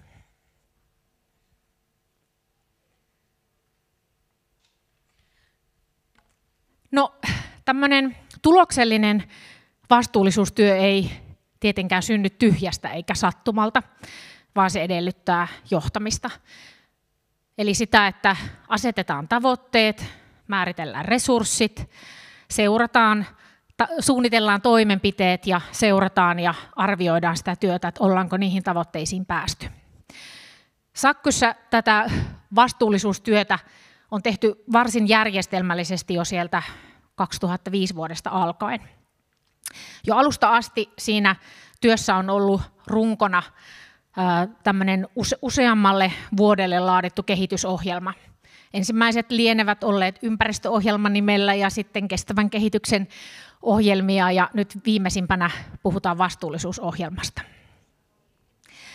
Ja näissä ohjelmissa on aina määritelty muutaman vuoden tähtäimellä niin kuin isot päämäärät, mitä, mitä kehitetään, ja sitten aina vuositasolla tarkemmin mietitty toimenpiteet, että miten, millaisilla konkreettisilla askelmilla niihin päämääriin päästään. Sitten myös sitä toimintaa jatkuvasti arvioidaan sekä sisäisillä että ulkoisilla arvioinnilla, jotta me tiedetään, että missä me suhteessa niin meidän tavoitteisiin mennään ja mitkä meillä on ne seuraavat kehittämisen kohteet.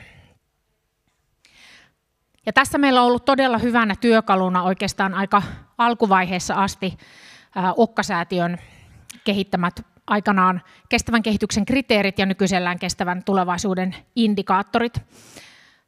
Ja ne on antanut sellaista runkoa, toki myös ihan valmiita työkaluja siihen kehittämiseen ja myös se, että ne auttaa meitä keskittymään oikeisiin asioihin. Mitkä on ne meidän kestävän tulevaisuuden edistämisen kannalta kriittiset asiat, mitä pitäisi kehittää.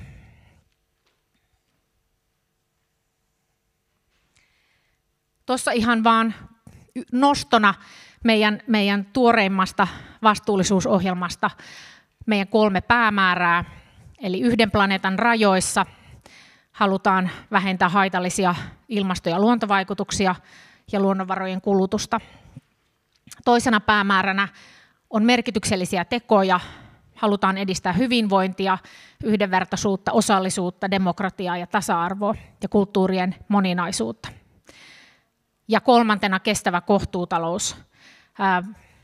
Halutaan edistää resurssitehokkuutta, kiertotaloutta ja tukea myös meidän, meidän alueen taloutta ja kilpailukykyä. Ja kaikki nämä päämäärät velvoittaa sekä, sekä meidän omassa toiminnassa että myös siinä, että miten, miten pyritään vaikuttamaan yhteiskuntaan laajemmin. Ja jokaisesta päämäärästä on sitten mietitty tarkemmin tavoitteita niin kuin tarkemmalle tasolle ja mietitty sinne myös mittareita. Ja siellä tosiaan meillä tämän yhden planeetan rajoissa päämäärän yhtenä tavoitteena on tämän vihreän siirtymän edistäminen ja näiden täydennyskoulutusten ja työelämäpalvelutarjonnan entisestään lisääminen.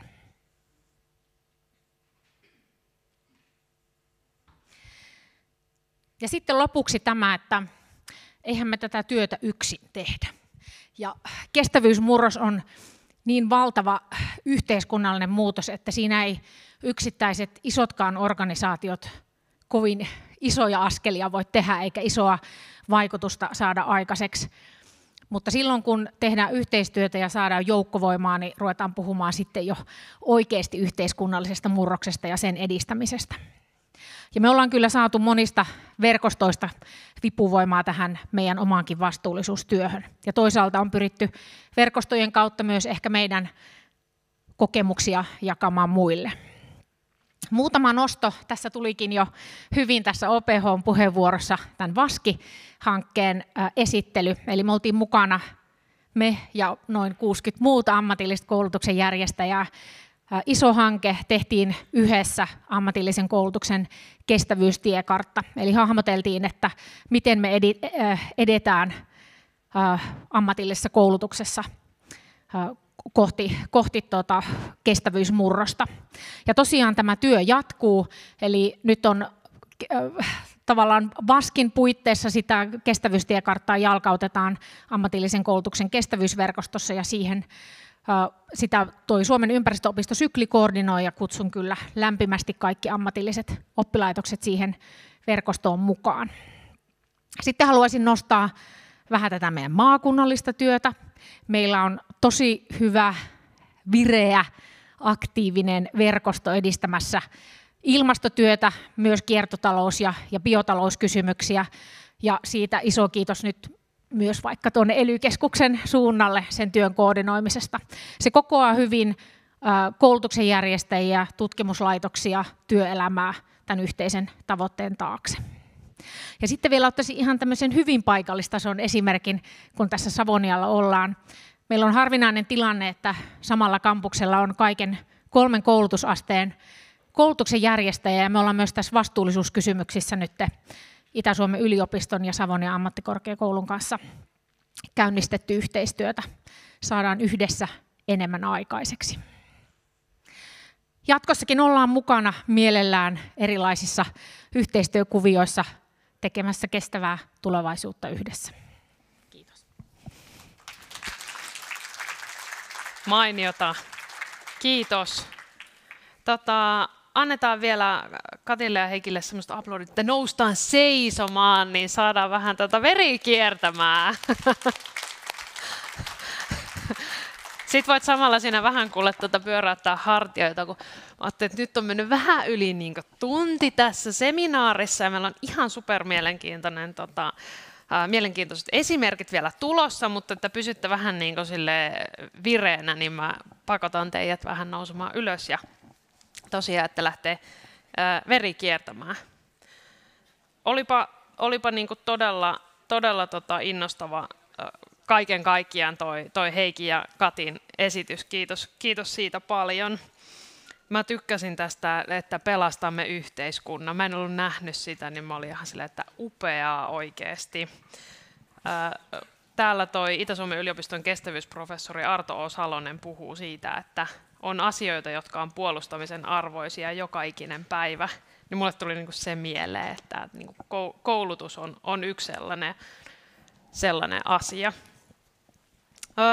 Sitten mulle tuli mieleen niin tämä, tämä tota, nimenomaan tämä, mi- mihin nyt seuraavaksi päästään näihin kiinnostaviin case-esimerkkeihin, niin tämä, tämä niin kuin, opiskelujen ja työelämän tämä niin kuin saumaton yhteistyö siitä, kun täällä Savonin ammattikorkeakoulussa olin jututtamassa opiskelijoita näihin, näihin vastuullisuustyöhön liittyen. Ja sitten ne oli siis ne oli niin kuin ensimmäisen vuoden opiskelijoita ja niillä oli jotenkin huoli siitä, että, että tota, heidän opinnot niin vanhenee tavallaan tässä niin kuin heidän neljän vuoden opintojen aikana. Sitten kun he valmistuu, niin onko ne enää niin kuin relevantteja ne tiedot, mitä ne silloin ekana vuonna opiskelee.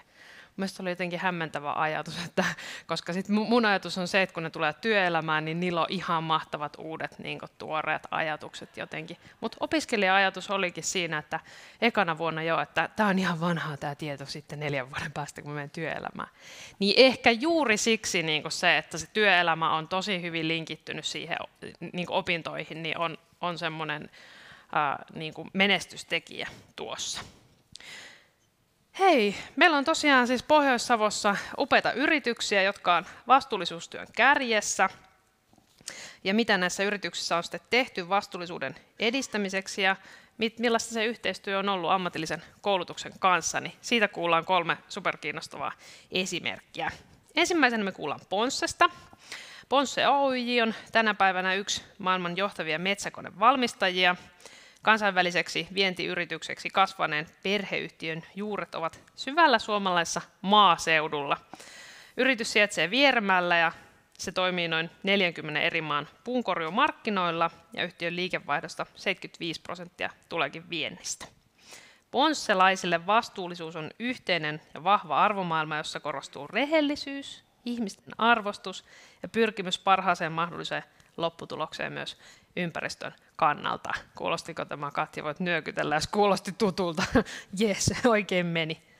Ponsse esimerkistä meille tulee kertomaan vastuullisuusjohtaja Katja Paananen ja, ja Katjan puheenvuoro aluksi, niin me katsotaan lyhyt video ja sitten Katja pääsee ääneen.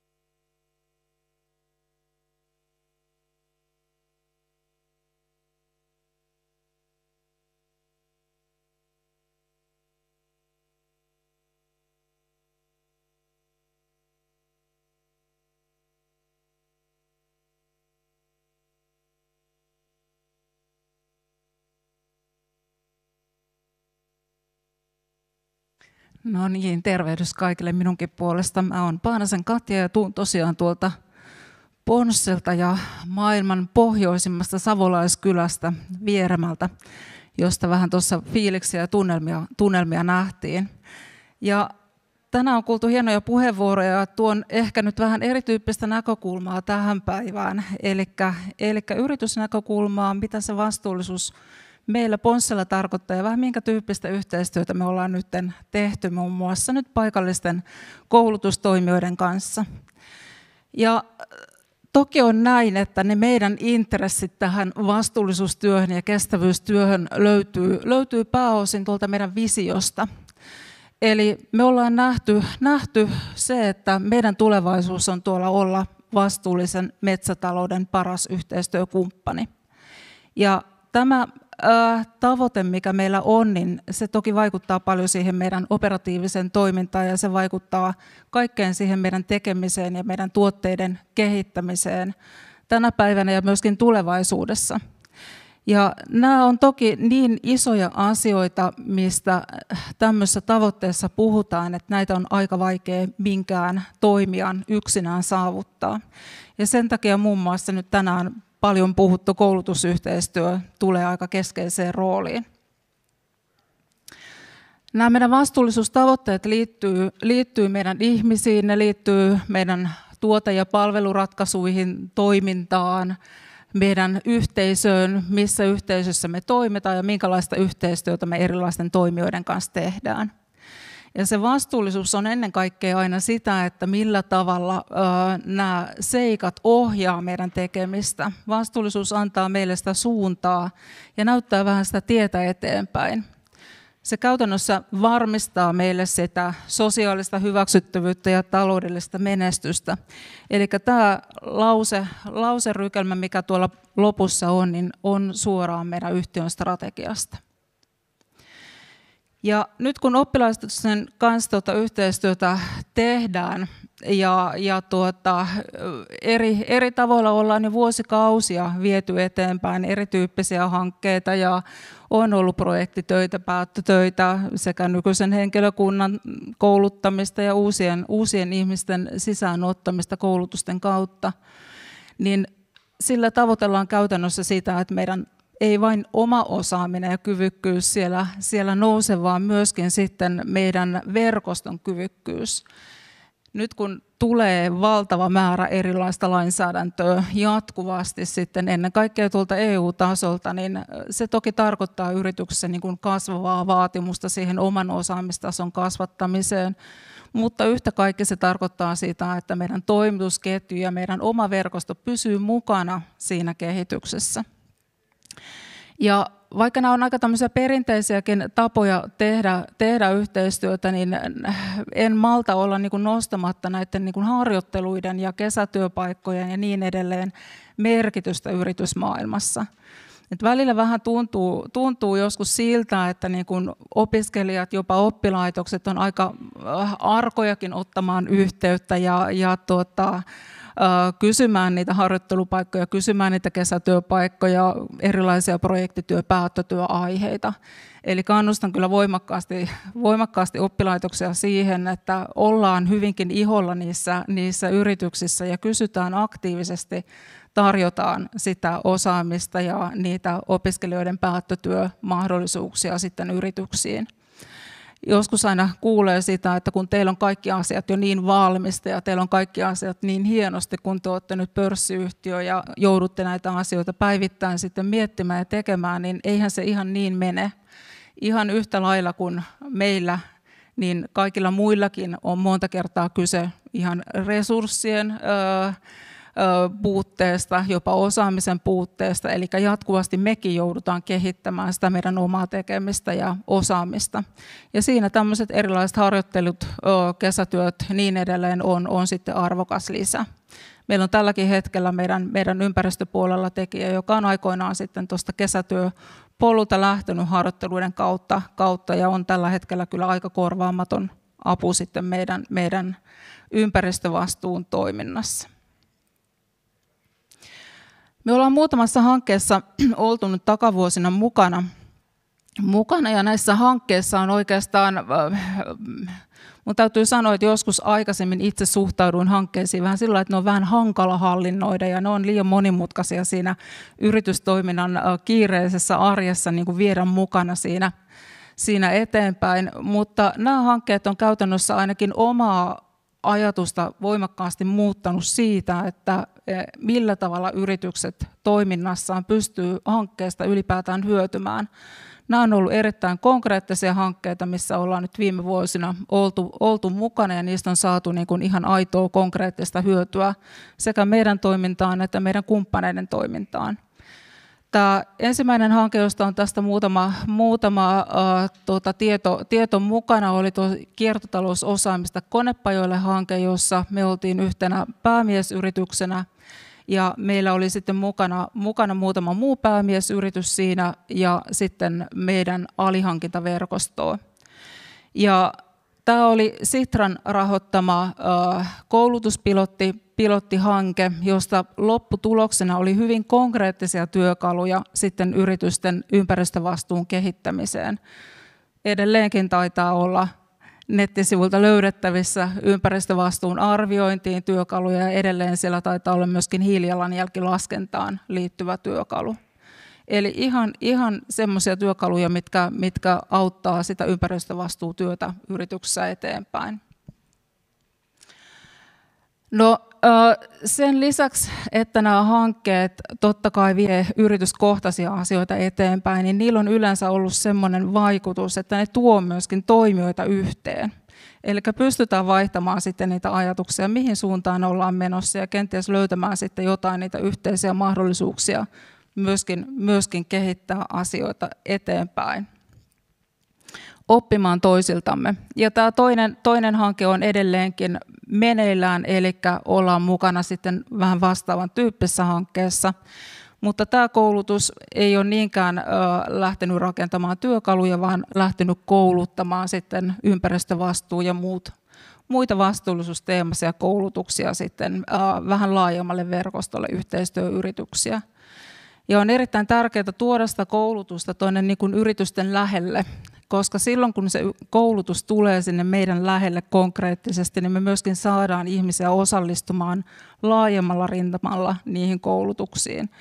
Paljon järjestetään erityyppisiä verkkokoulutuksia, mitkä on toki hyvä asia, mutta sitten monta kertaa nämä niin läsnäolokoulutukset niin sanotusti, ne on aika kaukana ja niihin sitten lähtee yksittäisiä ihmisiä ja se osaaminen sitten, sitten jää, jää kenties sitten heidän käsiinsä. Mutta tämä on myös hyvä, hyvä konkreettinen yhteistyö, mitä ollaan tehty. Ja me ollaan hyvin, hyvin riippuvaisia meidän, meidän ö, verkostosta, ja tämän sanon ihan, ihan puhtaasti positiivisella mielellä. Meidän alihankinnasta puolet tulee 25 kilometrin säteellä meidän, meidän tuotannosta tuossa Vieremällä, ja 74 prosenttia Suomessa. Eli on hyvin merkityksellistä, kuinka me saadaan tätä meidän omaa verkostoa koulutettua näissä teemoissa eteenpäin. Ei enää riitä, että me katsotaan vähän se oma pesä kuntoon, että miten meillä on asiat hoidettu, vaan sen lisäksi sitten meidän pitäisi pystyä pitämään, pitämään tota meidän omaa verkostoa myöskin mukana. Ja tuo Vierämä tehdas ihan konkreettisestikin sijaitsee tuossa hyvin keskeisellä paikalla keskellä Vierämä kirkonkylää, vaikka ei tuossa nyt hirveä, hirveätä tota, äh, betoniviidakkoa näykkään tuossa kirkonkylällä, mutta siinä se, siinä se tosiaan on. Ja tämä sijaintikin on tietyllä tavalla opettanut meille kyllä sitä yhteistyötaitoja ja, ja sitä yhteisötaitoja, mitä tänä päivänä, tänä päivänä jokainen muukin yritys tarvitsee, kun tuossa keskellä kirkonkylää ollaan aina, aina sijaittu. En lähde näitä sen kummemmin käymään läpi, mutta ihan esimerkkinä siitä, että mitä me tällä hetkellä jo meidän toimittajaketjulta, toimitusverkostolta toivotaan ja vaaditaan. Ja nämä vaatimukset pyritään aina pitämään semmoisena, että sitten kun ne koskettaa meitä, niin sitten me aletaan pyytää näitä. Me ei pyydetä niinku turhia asioita meidän toimittajilta, koska jokainen pyyntö aina yleensä tarkoittaa pienissä yrityksissä aika paljon sitten työtä, että ne asiat saadaan liikkeelle ja systemaattisesti hoidettua ja kerättyä. Ja toki niin kuin meillä on myöskin se velvoite, että me kerrotaan meidän verkostolle aina, että missä, missä nyt mennään, minkälaisia asioita me tulevaisuudessa ollaan sitten meidän alihankintayrityksiltä pyytämässä ja toivomassa. Mutta toimittajille käytännössä tämä tilanne, mikä, mikä nyt lainsäädännön puolesta on lisääntyvässä määrin tulossa velvoitteita, niin tietopyyntöjä tulee entistä, entistä enemmän ja näitä uusia osaamistarpeita jatkuvasti, jatkuvasti enemmän. Mutta kiitoksia minun, minun osaltani toivon, että tulee entistä tiiviimpää yhteistyötä myöskin oppilaitosten kanssa tulevaisuudessa ja toivon myöskin sitä ihan, ihan iholle tulemista ja sitä tarjontaa sitten suoraan, suoraan yritykselle. Kyllä siellä kehitettävää myöskin tuolla metsäkonevalmistajan päässä löytyy, vaikka paljon on asioita jo tehtykin. Kiitoksia.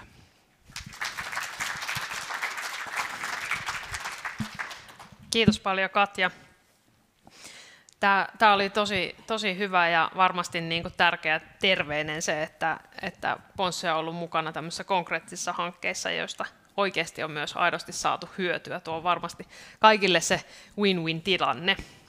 Sitten me kuullaan hei Sokoshotellien vastuullisuustyöstä. Sokos Hotels on hotelliketju, johon kuuluu 46 hotellia Suomessa ja yksi Tallinnassa. Sokos Hotelleissa tehdään töitä onnellisemman matkailun eteen. Se tarkoittaa, että huolehditaan niin ihmisten kuin ilmaston ja ympäristöhyvinvoinnista. Sokoshotellit noudattaa S-ryhmän vastuullisuusohjelmaa, jonka yksi tärkeimmistä tavoitteista on kääntää oma toiminta hiilinegatiiviseksi vuoteen 2025 loppuun mennessä. Kova tavoite. Mitäköhän tämä tarkoittaa Break Sokos Hotel Tahkolla ja Original Sokos Hotel Koljon Virralla, niin tästä tulee meille kertomaan hotellijohtaja Anna Hämäläinen. Tervetuloa.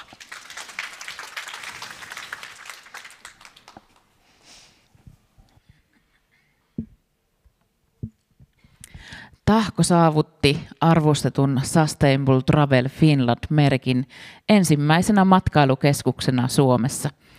Minä olen Anna Hämäläinen ja työskentelen matkailutoimialalla ja leipätyöni on osuuskauppa PSllä Break Sokosotel Tahkolla ja Original Sokosotel Koljon virralla hotellin johtajana. Tänään kerron teille meidän viimeisimmistä yhteistyöstä ammatillisen oppilaitoksen kanssa.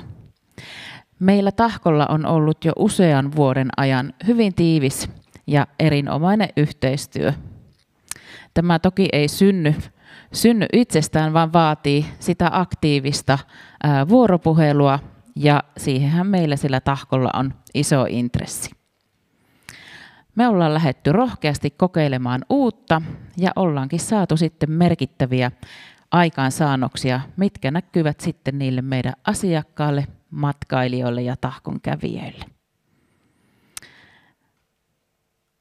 Viime syksynä me tehtiin todella iso yhteinen ponnistus, nimittäin yhteistyössä Savon ammattiopiston kanssa me lanseerattiin Tahkolle aivan uusi tapahtuma.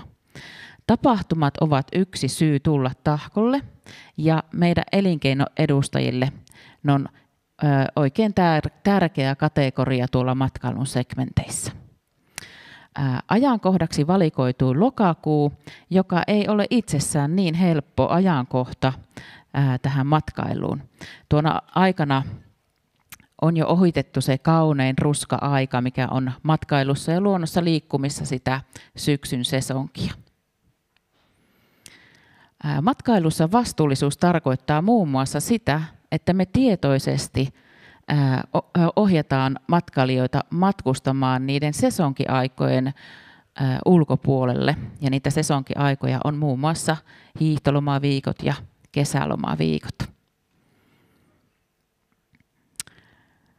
No, tämä tapahtumaan Tahkon luontovest syntyi ihan sattumalta. Oltiin siellä lounaspöydässä ja niin kuin hyvillä ideoilla on tapana syntyä, niin siinä tiivistä keskustelua aiheesta ja näin meillä olikin sitten uusi tapahtuma-aihio käsissä. Me lähdettiin yhdessä Savon ammattiopiston kanssa sitä ää, suunnittelemaan ja koska lokakuun, niin panostimme erityisesti pimeän ajan tuotteistukseen ja lokakuun hämäriin iltoihin ja aamuihin, ja jolloin tahkomaisema on siellä usvan peittämänä. Itsessään ihanaa ja kiinnostavaa vuoden aikaa, mutta me ei oltu aikaisemmin sitä osattu vielä tuotteista. Tapahtuman myötä me löydettiin sitten sitä ohjelmaa sinne, että mistä nousee tuo lokakuu hienosti tuota esille. Tämä tapahtuma on oikein hieno lisä alueen tapahtumatarjontaa ja tavoitteena onkin sitten tehdä tässä joka vuosittain toistuva tapahtuma. Ja sitten mitä siellä tapahtumassa oli, niin siellä oli muun muassa erätaitojen opettelua ja sitten oli tämmöisiä ohjattuja retkiä ja luonnontuotteiden työpaja ja nämä kaikki ohjelmat, mitä, tai moni ohjelma, mitä oli tuossa tapahtumassa, niin ne oli sitten tuotettu yhdessä opiskelijoiden ja ohjaajien kanssa. Metsästä löytyy taidepolkulle ja lapsille metsän olentojen taikapolku. Ja siellä nähtiinkin oikein nuoriakin henkilöitä sitten siellä metsäolentojen rooleissa. Viherrakentajan opiskelijat sitten valmistivat niistä luonnontuotteista meille sinne hotellin niin, niin kuin sisäänkäyntiin kuin sisätiloihin sitten niin hienoja tota, koristeita.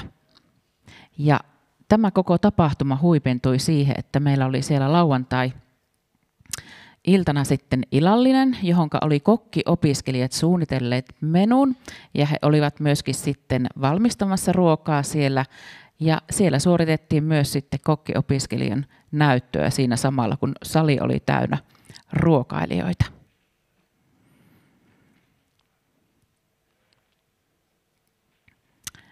Toinen suuri yhteinen ponnistus Savon ammattiopiston kanssa meillä on Tahkokampus. Ja tämäkin alkoi ihan puheista, puheista, syntyi puheista teoksi, kun meillä oli tuossa muutama vuosi sitten aivan todella iso työntekijäpula. No mistä saadaan sitten apua, niin otin yhteyttä Savon ammattiopistoon, ja näin ollen sitten syntyi tällainen ajatus, että tuodaan ne opiskelijat sinne tahkolle – ja tehdään tämmöinen tahkokampus ja mahdollistetaan ne teoriaopinnot, asuminen ja se työssä oppiminen sitten siellä itsessään tahkolla. Ja tuota, siellä oli pula sitten useamman alan tekijöistä ja, ja me saatiin sitten useamman alan opiskelijoita sinne tahkolle tämä on aiheuttanut tämmöistä mielenkiintoa ihan valtakunnallisesti, että mulle on soiteltu tuolta Etelä-Suomesta saakka, että miten te tämän oikein teitte ja pohjoisesta päin on sitten taas kyselty, että hei, että miten teillä työntekijät riittää. Mä, että itse asiassa tällä riittää erinomaisen hyvin, koska me tehtiin tällainen yhteistyö, joka jatkuu nytten parasta aikaakin. Ja tälläkin hetkellä niin tässä on pelkästään yhdestä yksikössä valmistautuu, valmistuu sitten seitsemän opiskelijaa ammattiin. Ja tämä jatkuu sitten ensi syksynä. Olemme kuitenkin aikaisemminkin tehnyt paljon, paljon yhteistyötä oppisopimuksen saralla. Ja ää, nyt tällä hetkellä sitten tämä kaikki kaikki on tehty helpommaksi niille opiskelijoille. Tuo tahko sijaitsee kumminkin sen verran tuolla syrjemmällä täältä kantakaupungista, että sitten tulee monesti tämmöinen niin kuin opiskelijoiden liikkuminen sitten haasteelliseksi, niin ää, tällä, tällä saatiin sitten ratkaistua ää, tätä käytännön probleemaa. Tahko kehittyy hurjaa vauhtia ja se mahdollistaa monen alan ympärivuotisia työpaikkoja ja tämä yhteistyö on erittäin hedelmällistä. Ja tässä kuvassa olevaa ää, Tahkon retkipaikan varrella olevaa laavua, niin tämäkin on itse asiassa rakennettu yhteistyössä Savon ammattiopiston kanssa. Että joten kun poikkeatte Tahkon luontoreitellä, niin siellä sitten kädenjälki näkyy ihan konkreettisesti. Kiitos taitaja kisojen järjestäjille tämä on merkittävä asia näin matkailullisesti täällä meidän alueella ja se kyllä näkyy minun työssä, että sanotaanko, että hotellien käyttöasteet ovat oikein mukavalla tasolla. Mä arvelen, että tälle alueelle verojälki tästä taitajakisasta on hyvin merkittävä. Kiitos kaikille. Jatketaan hyvää työtä ja tervetuloa Tahkolle.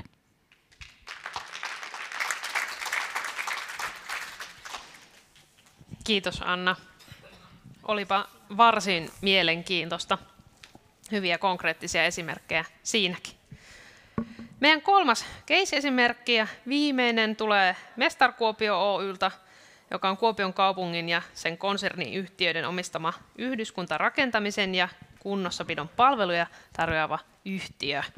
Toiminta kattaa katujen, liikenneväylien, vesihuoltoverkostojen, ulkovalaistusverkkojen, viheralueiden ja liikuntapaikkojen rakentamisen sekä kunnossa ja puhtaana pidon. Yhtiö on tehnyt suunnitelmallista ympäristötyötä jo vuodesta 2018 lähtien ja seuraa muun muassa hiilijalanjäljen kehitystä ja tekee aktiivisesti toimenpiteitä sen vähentämiseksi.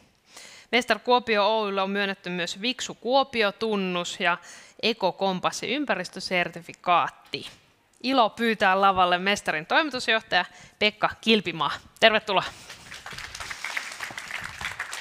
Kiitoksia Saara ja oikein hauskaa päivää kaikille minunkin puolestani. Tässä on herännyt paljon ajatuksia ja vaikka yritin pajatsoa tyhjentää tähän esitykseen, niin huomasin, että paljon yhteistyötä jäi, jäi pois tuosta diasarjasta, mitä, mitä tässä vuosien varrella ollaan tehty. Mutta on tyypillisesti monisanainen, niin mennään suoraan asiaan. Pakollinen organisaatiokaavio, eli niin kuin Saara tuossa kertoi, rakennetaan, kunnossa pidetään kuopiolaista infraa. Rakentamisen osalta noin parikymmentä miljoonaa ja kunnossapito on noin 15 miljoonaa. Koko yhtiön liikevaihto viime vuonna oli 36,5 miljoonaa. Käytännössä Kuopion konsernin hankkeista kulkee meidän kautta noin puolet euromääräisesti.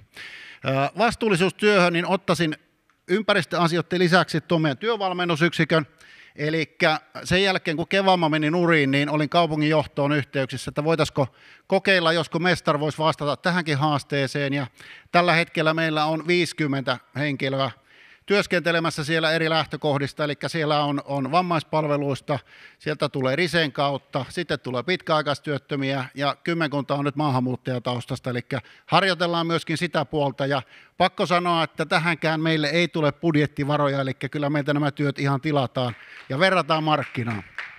Kiitos. No meidän tehtävä, eli mietittiin, että minkä takia tämmöinen yhtiö yleensä on olemassa ja, ja tuota, lähdettiin liikkeelle siitä, että mehän pidämme tästä kaupungista huolen. Se tarkoittaa konkreettisesti tätä, mitä tässä tapahtuu, mutta se tapa, ää, tarkoittaa myöskin paljon muuta. Ympäristövastuullisuustyöstä sen verran, että se ei ollut kauhean suunnitelmallista siinä vaiheessa, kun Sakkyn porukat ensimmäistä kertaa meille tuli käymään. Eli kiitoksia vaan siitä. Käytännössä se lähti liikkeelle tästä kestävää kehitystä Pohjois-Savon yrityksen hankkeesta. Toki aikaisemminkin meillä oli otettu käyttöön akkukäyttöistä työkalua ja, ja tuota siellä eri tiimeissä, riippuen omasta harrastuneisuudesta, niin oli, oli viety asiaa eteenpäin. Mutta tässä heräteltiin oikein kunnolla, eli iso kiitos edelleen Kati ja kumppanit, ketkä jaksoitte, jaksoitte potkia silloin eteenpäin. Saatiin tämä ekokompassisertifikaatti ja oikeastaan siinä vaiheessa – johtokin ymmärsi, että nyt ollaan vasta niin kuin alkuvaiheessa ja jonkun pikkasen isomman äärellä kuin mitä ehkä alun perin ajateltiinkaan. No toinen hanke, joka on ollut erityisen merkittävä, niin on ollut tämä ympäristöosaamista alueellinen menestystekijä, ja siinä tulee ehkä, taisi Ponssen puheenvuorossa mainita sitä, että kun kootaan yrityksiä yhteen, niin niitä ajatuksia vaihdetaan, ja se oli äärimmäisen hyviä esimerkkejä paikallisista yrityksistä, jotka tuskaili meidän kilpailutusten kanssa, meidän sopimuspolitiikan kanssa, ja sen takia eivät saaneet, saaneet paikallisia tuotteita kaupungin hankkeisiin ja näin poispäin, ja sitä on lähdetty nyt taklaamaan. Mutta toki se on myöskin kirkastanut meidän roolia suhteessa tuonne meidän alihankintaverkostoon, eli mehän ei yksin näitä töitä tehdä. Mestarilla on henkilöstöä parisataa kappaletta keskimäärin, mutta meillä on toista sataa urakoitsijaa kumppanina, tarkoittaa noin kahta puolta sataa koneyksikköä, noin 800 materiaalin toimittajaa, ja nyt ollaan kovasti mietitty sitä, että millä tavalla me saataisiin tätä vastuullisuustyötä vietyä eteenpäin sinne alihankintaverkostoon, mutta myöskin ehkä heräteltyä sitten tuota meidän tilaajatahoa kaupungin suuntaan tekemään entistä suunnitelmallisemmin, eli saataisiin koko prosessi haltuun tästäkin näkökulmasta. No joo, tämä on suoraan meidän strategiasta ja tässä haluan nostaa en niinkään muita asioita, mutta tämä poliittinen kestävyys, se on aina välillä, välillä tuota, äh, herättänyt vähän kysymyksiä, että mitäs Pekka tarkoitat tuolla asialla. No minä tarkoitan sitä, että me roolissamme pyrimme tuottamaan semmoista dataa päätöksentekoon, että se kestäisi sitten ne päätökset aikaa. Eli ei tarvitsisi joka valtuustokausi muuttaa suuntaa 180 astetta ja yrittää reagoida siihen. Ja tämän takia me mittaroidaan, seurataan, raportoidaan erilaisia asioita meidän toiminnassa. No sitten on tämä iso juttu, minkä takia tässä on nyt puhumassa ja mikä on se punainen lanka. Meillä on 200 työntekijää ja aika isolla osalla on lapsia tai lapsen lapsia tai tulossa lapsia tai suunnitteilla. Eli eihän me itsellemme tätä tehdä, vaan niille tuleville sukupolville joskus joku viisas on sanonut, että ei isiltä saatua, äh, vaan lapsilta lainassa, ja se on ollut se punainen lanka tässä meidän esityksessä. No ensimmäinen asia, mitä piti tehdä, niin oli laittaa totta kai kotipesä kuntoon. Ja ihan lyhyesti tässä, että mistä on lähetty liikkeelle. 2018 rikkaruohon torjuntaa kuumalla vedellä. Akkukäyttöisiä pienkoneita, sitten on menty eteenpäin, jätehuoltosuunnitelmaa, ympäristö vastaava nimettiin, huomattiin, että se ei riitä, että joku aina joskus jotakin tekee, vaan jonkun pitää ottaa oikeasti vastuu. Ja sitä kautta on lähetty henkilöstötiedottamiseen, ekokompassi saatiin tuossa vaiheessa, Viksu Kuopio tunnus ja näin poispäin. Eli siinä vaiheessa, kun meinattiin päässä vauhtiin, niin tajuttiin, että nyt pitää pysähtyä ja tehdä suunnitelma. Tehdä tavoitteet ja lähteä oikein kunnolla liikkeelle. Ja vahingossa saatiin sitten suunnitelmasta huolimatta jo viime vuodelle tuo Ralan ympäristösertifikaatti, eli ekokompassi vaihtui siihen. Ei sen takia, että ekokompassi olisi ollut huono, mutta meidän tarpeisiin se oli ehkä parempi ja se auditoidaan joka vuosi, eli tämä asia pysyy silloin mielessä. Ja tuosta olen erinomaisen tyytyväinen, että tuossa lukee eriksensä ralalta, että tuo ympäristöjohtaminen on hyvällä tasolla. Ei niin, että toimitusjohtaja on tämän tehnyt, vaan toimitusjohtaja ei ole enää tulppa tässä asiassa ja ihmiset pääsee töihin. No mitä on saatu aikaiseksi? Pari nostoa. Lähdettiin liikkeelle siitä, että ensimmäisenä pistetään kuntoon ne asiat, mitkä on meistä kiinni. Ja sitten vasta ruvetaan keskittymään muihin juttuihin. Ja yllättäen Tuo jätteiden lajittelu, kierrätys oli se ensimmäinen juttu. Ja tuossa on se kehitys, mitä siinä on, on 22-23. Sekajätteen määrä puolittunut ja vastaavasti sitten lajitellut jätteen määrä on, on tuota kasvanut. Ja tämä sen takia, että silloin kun me tehdään jotakin tämmöisiä asioita, niin henkilöstö lähti sitoutumaan, kun he huomasivat konkreettisesti, että hei, tällä on oikeasti merkitystä, mitä minä teen tänä päivänä. No tässä samalla on sitten tämä hiilijalanjälkilaskenta suoritettu. Sitäkin pari ensimmäistä vuotta suoritti insinööriopiskelija, taitaa olla tältä kampukselta, ja opetti meille, että mitä kaikkia asioita siihen, siihen pitäisi ottaa huomioon. Mutta se, mistä on äärimmäisen tyytyväinen, niin tuo sininen palkki, joka kuvaa vuotta 2023, niin se on kuitenkin pääsääntöisesti lyhyempi kuin mitä aikaisempina vuosina. Pois lukien ostetut tuotteet ja palvelut, ja se on semmoinen, että minkä takia allekirjoittanut tällä hetkellä tekee töitä, koska kaikki nämä materiaalit ja muut määritellään suunnittelupöydässä ja meiltä tilataan suunnitelmien mukaan. Eli nyt pitää talkoisiin saada mukaan myöskin kaupunki, suunnittelu, rakennuttaminen ja sitä kautta me saadaan tuloksia entistä enemmän. No sitten vielä tämmöiselle putkiaivoselle prosessiajattelu, eli tästä suunnitelmasta, siinä on suunnitelma vuodelle 2024, Jokaiselle kvartaalille on määritelty, että mitä ainakin pitää tapahtua, mitä tuloksia, mitä palavereita, mitä dokumentaatiota, ja tällä tavalla ollaan menty eteenpäin. Mutta sitten se seuraava steppi, viherrakentamisen rakennusurakaprosessikartta. Tämä runko oli olemassa, mutta siihen lisättiin noita vihreällä reunustettuja palasia, eli ainakin noissa vaiheissa pitää pysähtyä ja miettiä, että hei, ollaanko me otettu ympäristöasiat huomioon? Puuttuuko jotakin, mitä pitäisi lisätä, mitä pitää sopia. Ja tällä tavalla me ollaan saatu, saatu tätä asiaa pikkuhiljaa vietyä eteenpäin. Ja tästä seuraava taso, mikä on jo tuotannossa, on se, että meillä tulee työohjeet kentälle eri työvaiheisiin, jotka sisältää tämän saman ajatuksen. Jos pystyt tekemään ympäristöystävällisemmin, jos pystyt tekemään vastuullisemmin, kerro toki mitä tarvit, niin hankitaan se. Tässä lyhyesti mestarin osuus. Kiitoksia.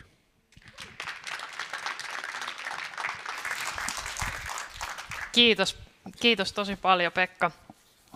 Mä, mä kyllä myös niin kuin, yhteiskuntatieteilijänä tykkään näistä prosessikaavioista ja sitä, mitä, mitä te olette tehnyt niin kuin sen tiimoilta. Että tosi, tosi hyvää työtä ja kiinnostava puheenvuoro. Mahtavat esimerkit meillä me nyt kuultiin, me aletaan olla aivan niin loppusuoralla. Me saadaan kommenttipuheenvuoro tähän ja katsotaan, jos sitten jää vielä hetki aikaa, niin, niin tota, otetaan teiltä muutama kommentti ja kysymys myöskin. Mutta meillä on täällä AMKRyn toimitusjohtaja Velimatti Lamppu, AMKE ry on siis ammattiosaamisen kehittämisyhdistys, koulutuksen järjestäjä ja edunvalvoja. Toiminnan ytimessä yhteiskunnallinen vaikuttaminen. Veli-Matti, ole hyvä. Mitä ajatuksia tämä herättää sinussa? Kiitos, kiitos paljon. Mä tuolla aamupäivän jo ehdin aika pitkään pyörimään Kuopiohallilla ihmettelemässä sitten, miten hienosti jälleen näitä taitajia täällä rakennetaan. Ja se on yksi sellainen ehkä tämmöinen niin kuin ammatillisen koulutuksen, kestävän kehityksen, sen koulutuksen ymmärtämisen ja sen luonteen niin kuin ilmentymä. Mä olin semmoisen Petter Forströmin ammatillisen koulutuksen mm, tukisäätiön, joka on siis vankilakoulutuksesta lähtenyt. Ja, ja sielläkin on se ajatus siinä säätiössä, jonka kanssa mä aamulla tulin tänne, niin, niin että joskus sodan jälkeen sota syyllisenä tuomittu Peter Forström niin mietti, teollisuusjohtaja mietti, että mikä ihme on, että täällä vankilassa vaan ollaan, että jotain hänen pitäisi tehdä. Ja hän ajatteli, että hei, ammatillinen koulutus, vankilaopetus on se.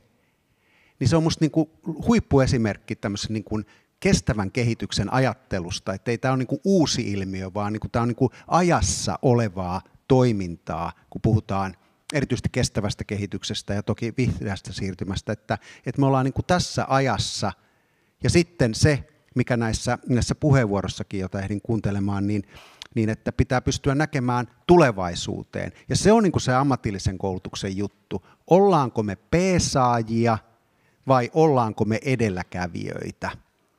Ja, ja, ja siinä niin kuin tullaan siihen kysymykseen, että miten ammatillinen koulutus pystyy toteuttamaan tehtäväänsä. Ja kun tätä tehtävää toteutetaan, niin on hyvä muistaa ihan semmoisia peruslukuja, että ammatillisen koulutuksen piirissä on vuosittain yli 300 000 15, 16 68-69-vuotiaista ihmistä. Joka kymmenes työikäinen on tavalla tai toisella ammatillisen koulutuksen piirissä. Ja, ja, ja suurin osa suomalaisista yrityksissä on vuosittain tavalla tai toisella tekemisissä ammatillisen koulutuksen kanssa. Niin silloinhan ammatillinen koulutus on niin kuin yksi, niin kuin ei ehkä keskipiste, mutta tärkeä sen verkoston osa sen suhteen, että miten esimerkiksi ää, ää, vaikka nyt nämä nuoret, minkälaista ymmärrystä, minkälaista vahvistusta, minkälaista osaamista, minkälaista tulevaisuuden uskoa ja aktiivista toimintaa he niin kuin, niin kuin pystyvät oppimaan, ymmärtämään koulutuksen aikana. Ja samalla mä väitän, että niillä olisi aika paljon myöskin annettavaa jopa niin kuin nuorimmilla niin kuin ammatilliselle koulutukselle suhteessa näihin teemoihin, koska, koska ää, usein tämän tyyppiset asiat niin tulee sitä kautta, että nuoret näkee pidemmälle kuin moni muu. No sitten kaksi kolmasosaa on kuitenkin aikuisia. Aikuiset tulee koulutuksen piiriin, ovat työelämässä, hyödyntävät suoraan sitä osaamistaan siellä ammatissa. Niin sitten tullaankin siihen niin kuin todellisuuteen, että ei riitä vain se, että, että mitä opettaa, vaan että mitä on. Ja, ja silloin, silloin, silloin niin kuin esimerkiksi nyt tämä Savilahden kampus, joka on uusi, niin silloin joutuu kysymään, että toteuttaako tämä kaikkea sitä ideologiaa, mitä täällä halutaan opettaa tai, tai tuoda esiin jolloin ammatillisen koulutuksen pitää olla myöskin esimerkki omassa perustoiminnassaan.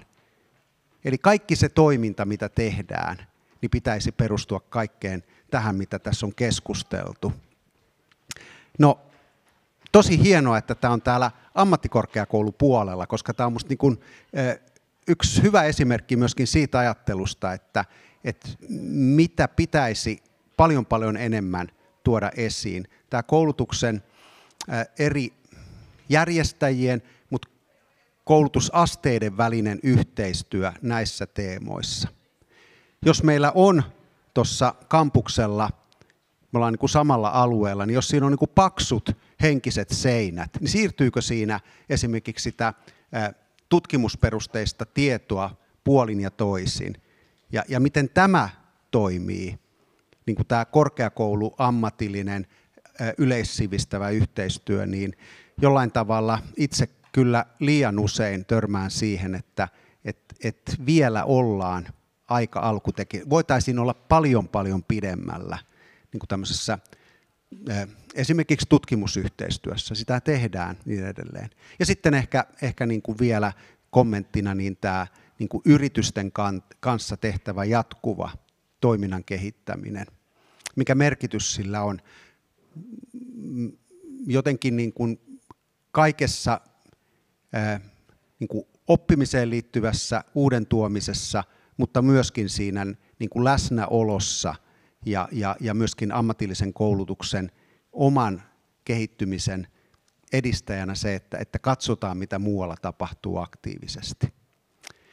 Et mielenkiintoista ja, ja keskeistä ammatillisessa koulutuksessa nämä teemat, mutta myöskin sellaista niin kuin ajassa olevaa ja, ja, ja sitä, mitä ei pidä ajatella, että tässä nyt jotenkin nyt purskautetaan ja sitten eletään niin kuin ennenkin, vaan, vaan kun katsoo taakse, niin siellä on paljon hyvää ja nyt pitäisi löytää niitä uusia, uusia, uusia tapoja toimia ja, ja, ja, ja luoda uutta. Ja se on, se on silloin parhaimmillaan ammatillisen koulutuksen tehtävää. Kiitos.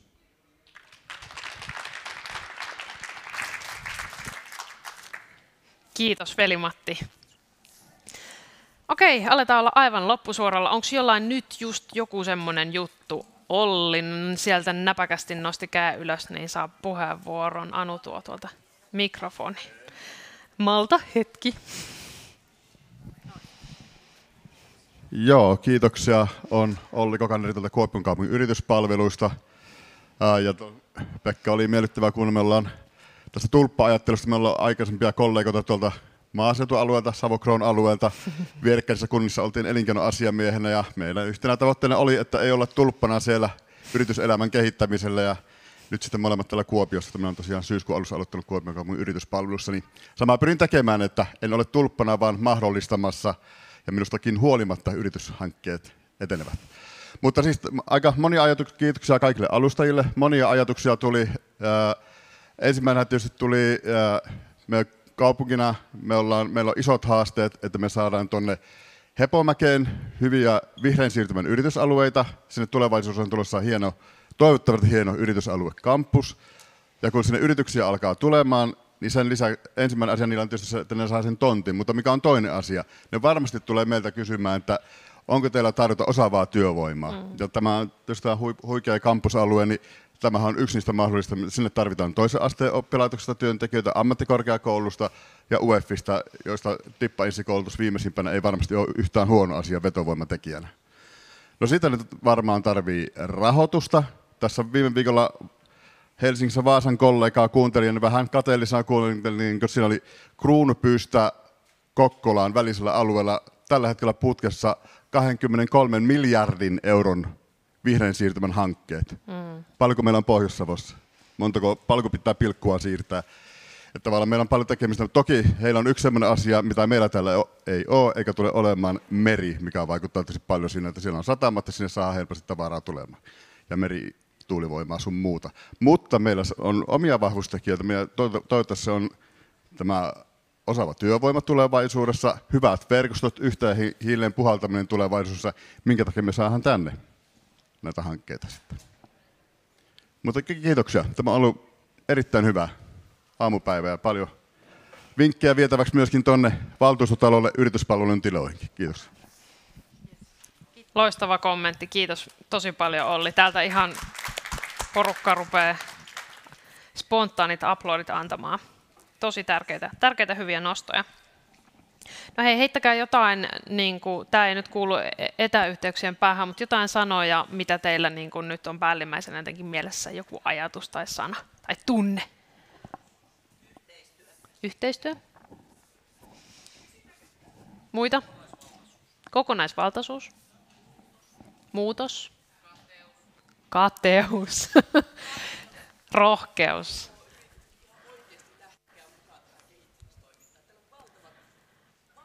Kaija, haluatko Miki? Sano vaan. Joo, tervehdys Kaija Sääski, Savonin ammattikorkeakoulun yrityspalvelun johtaja. Ja ensinnäkin todella hieno kiitos Sakkylle, että tulitte tähän äh, koplattuun kampukseen. Eli teillä oli aloitukset ja täällä on sitten tämä seminaari. Näin sen pitää toimia. Mutta nyt ihan oikeasti, oli hyvin toit esiin ja olet yritysasiantuntija jo pitkään, niin nyt meidän alueen PK-yritykset täytyy saada muutoksen vauhtiin. Meillä ei tämä, kuulkaa, tämä vetovoima täällä maakunnassa säily, jos me ei saada oikeasti kasvuhimoisia yrityksiä. Ei enää halu yritä, vaan pitää olla oikeasti kasvuhimoa.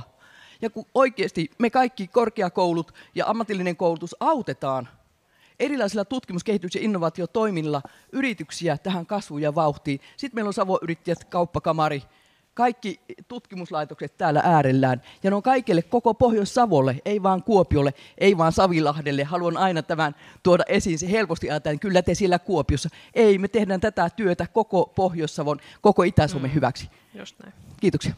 Hyvä. Hyvä. Kiitos paljon, Kaja. Loistava kommentti. Hei, uh, time is running. Ja kohta mekin saadaan juosta kohti lounasta. Tämä on hyvä, kun täällä tulee liikkumista myöskin, että kun tämä kampus on tosiaan tuolta Sakkyyn tuolta kampuksilta tuonne yliopistoon asti, niin siinä tulee aika paljon, paljon askeleita, tai sitten voi hyödyntää kaupungin loistavia sähköavusteisia kaupunkipyöriä. Mutta hei, tässä ei tarvitse pyörällä liikkumista, kun mennään tuonne lounaalle, mutta ennen sitä tässä nyt Anu laittokin tuon menun, mikä on tuolla ravintolaparvessa, eli tuolla päärakennuksen kakkoskerroksessa. Mutta millä ravitsemme meidän puhujiamme, niin he saavat tulla tänne eteen vielä. Tervetuloa. Ja, ja he saavat lounaaksi nauttia paikallista kalakukkoa. Sen saa ehkä myös iltapalaksi nauttia, jos ei just nyt halua sitä avata ja ruveta sitä nautiskelemaan. Ai että, upea porukka. Aplodit vielä kaikille.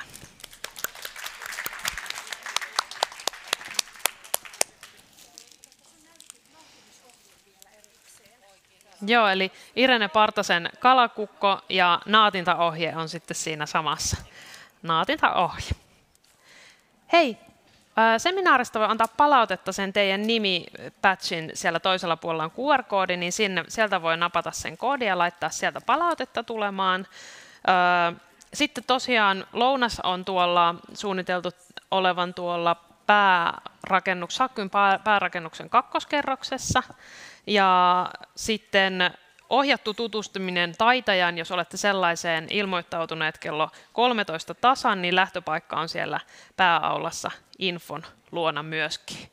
Siellä on Eero, pitkä vaalea mies, teitä vastaanottamassa, jos olette siihen vielä osallistumassa.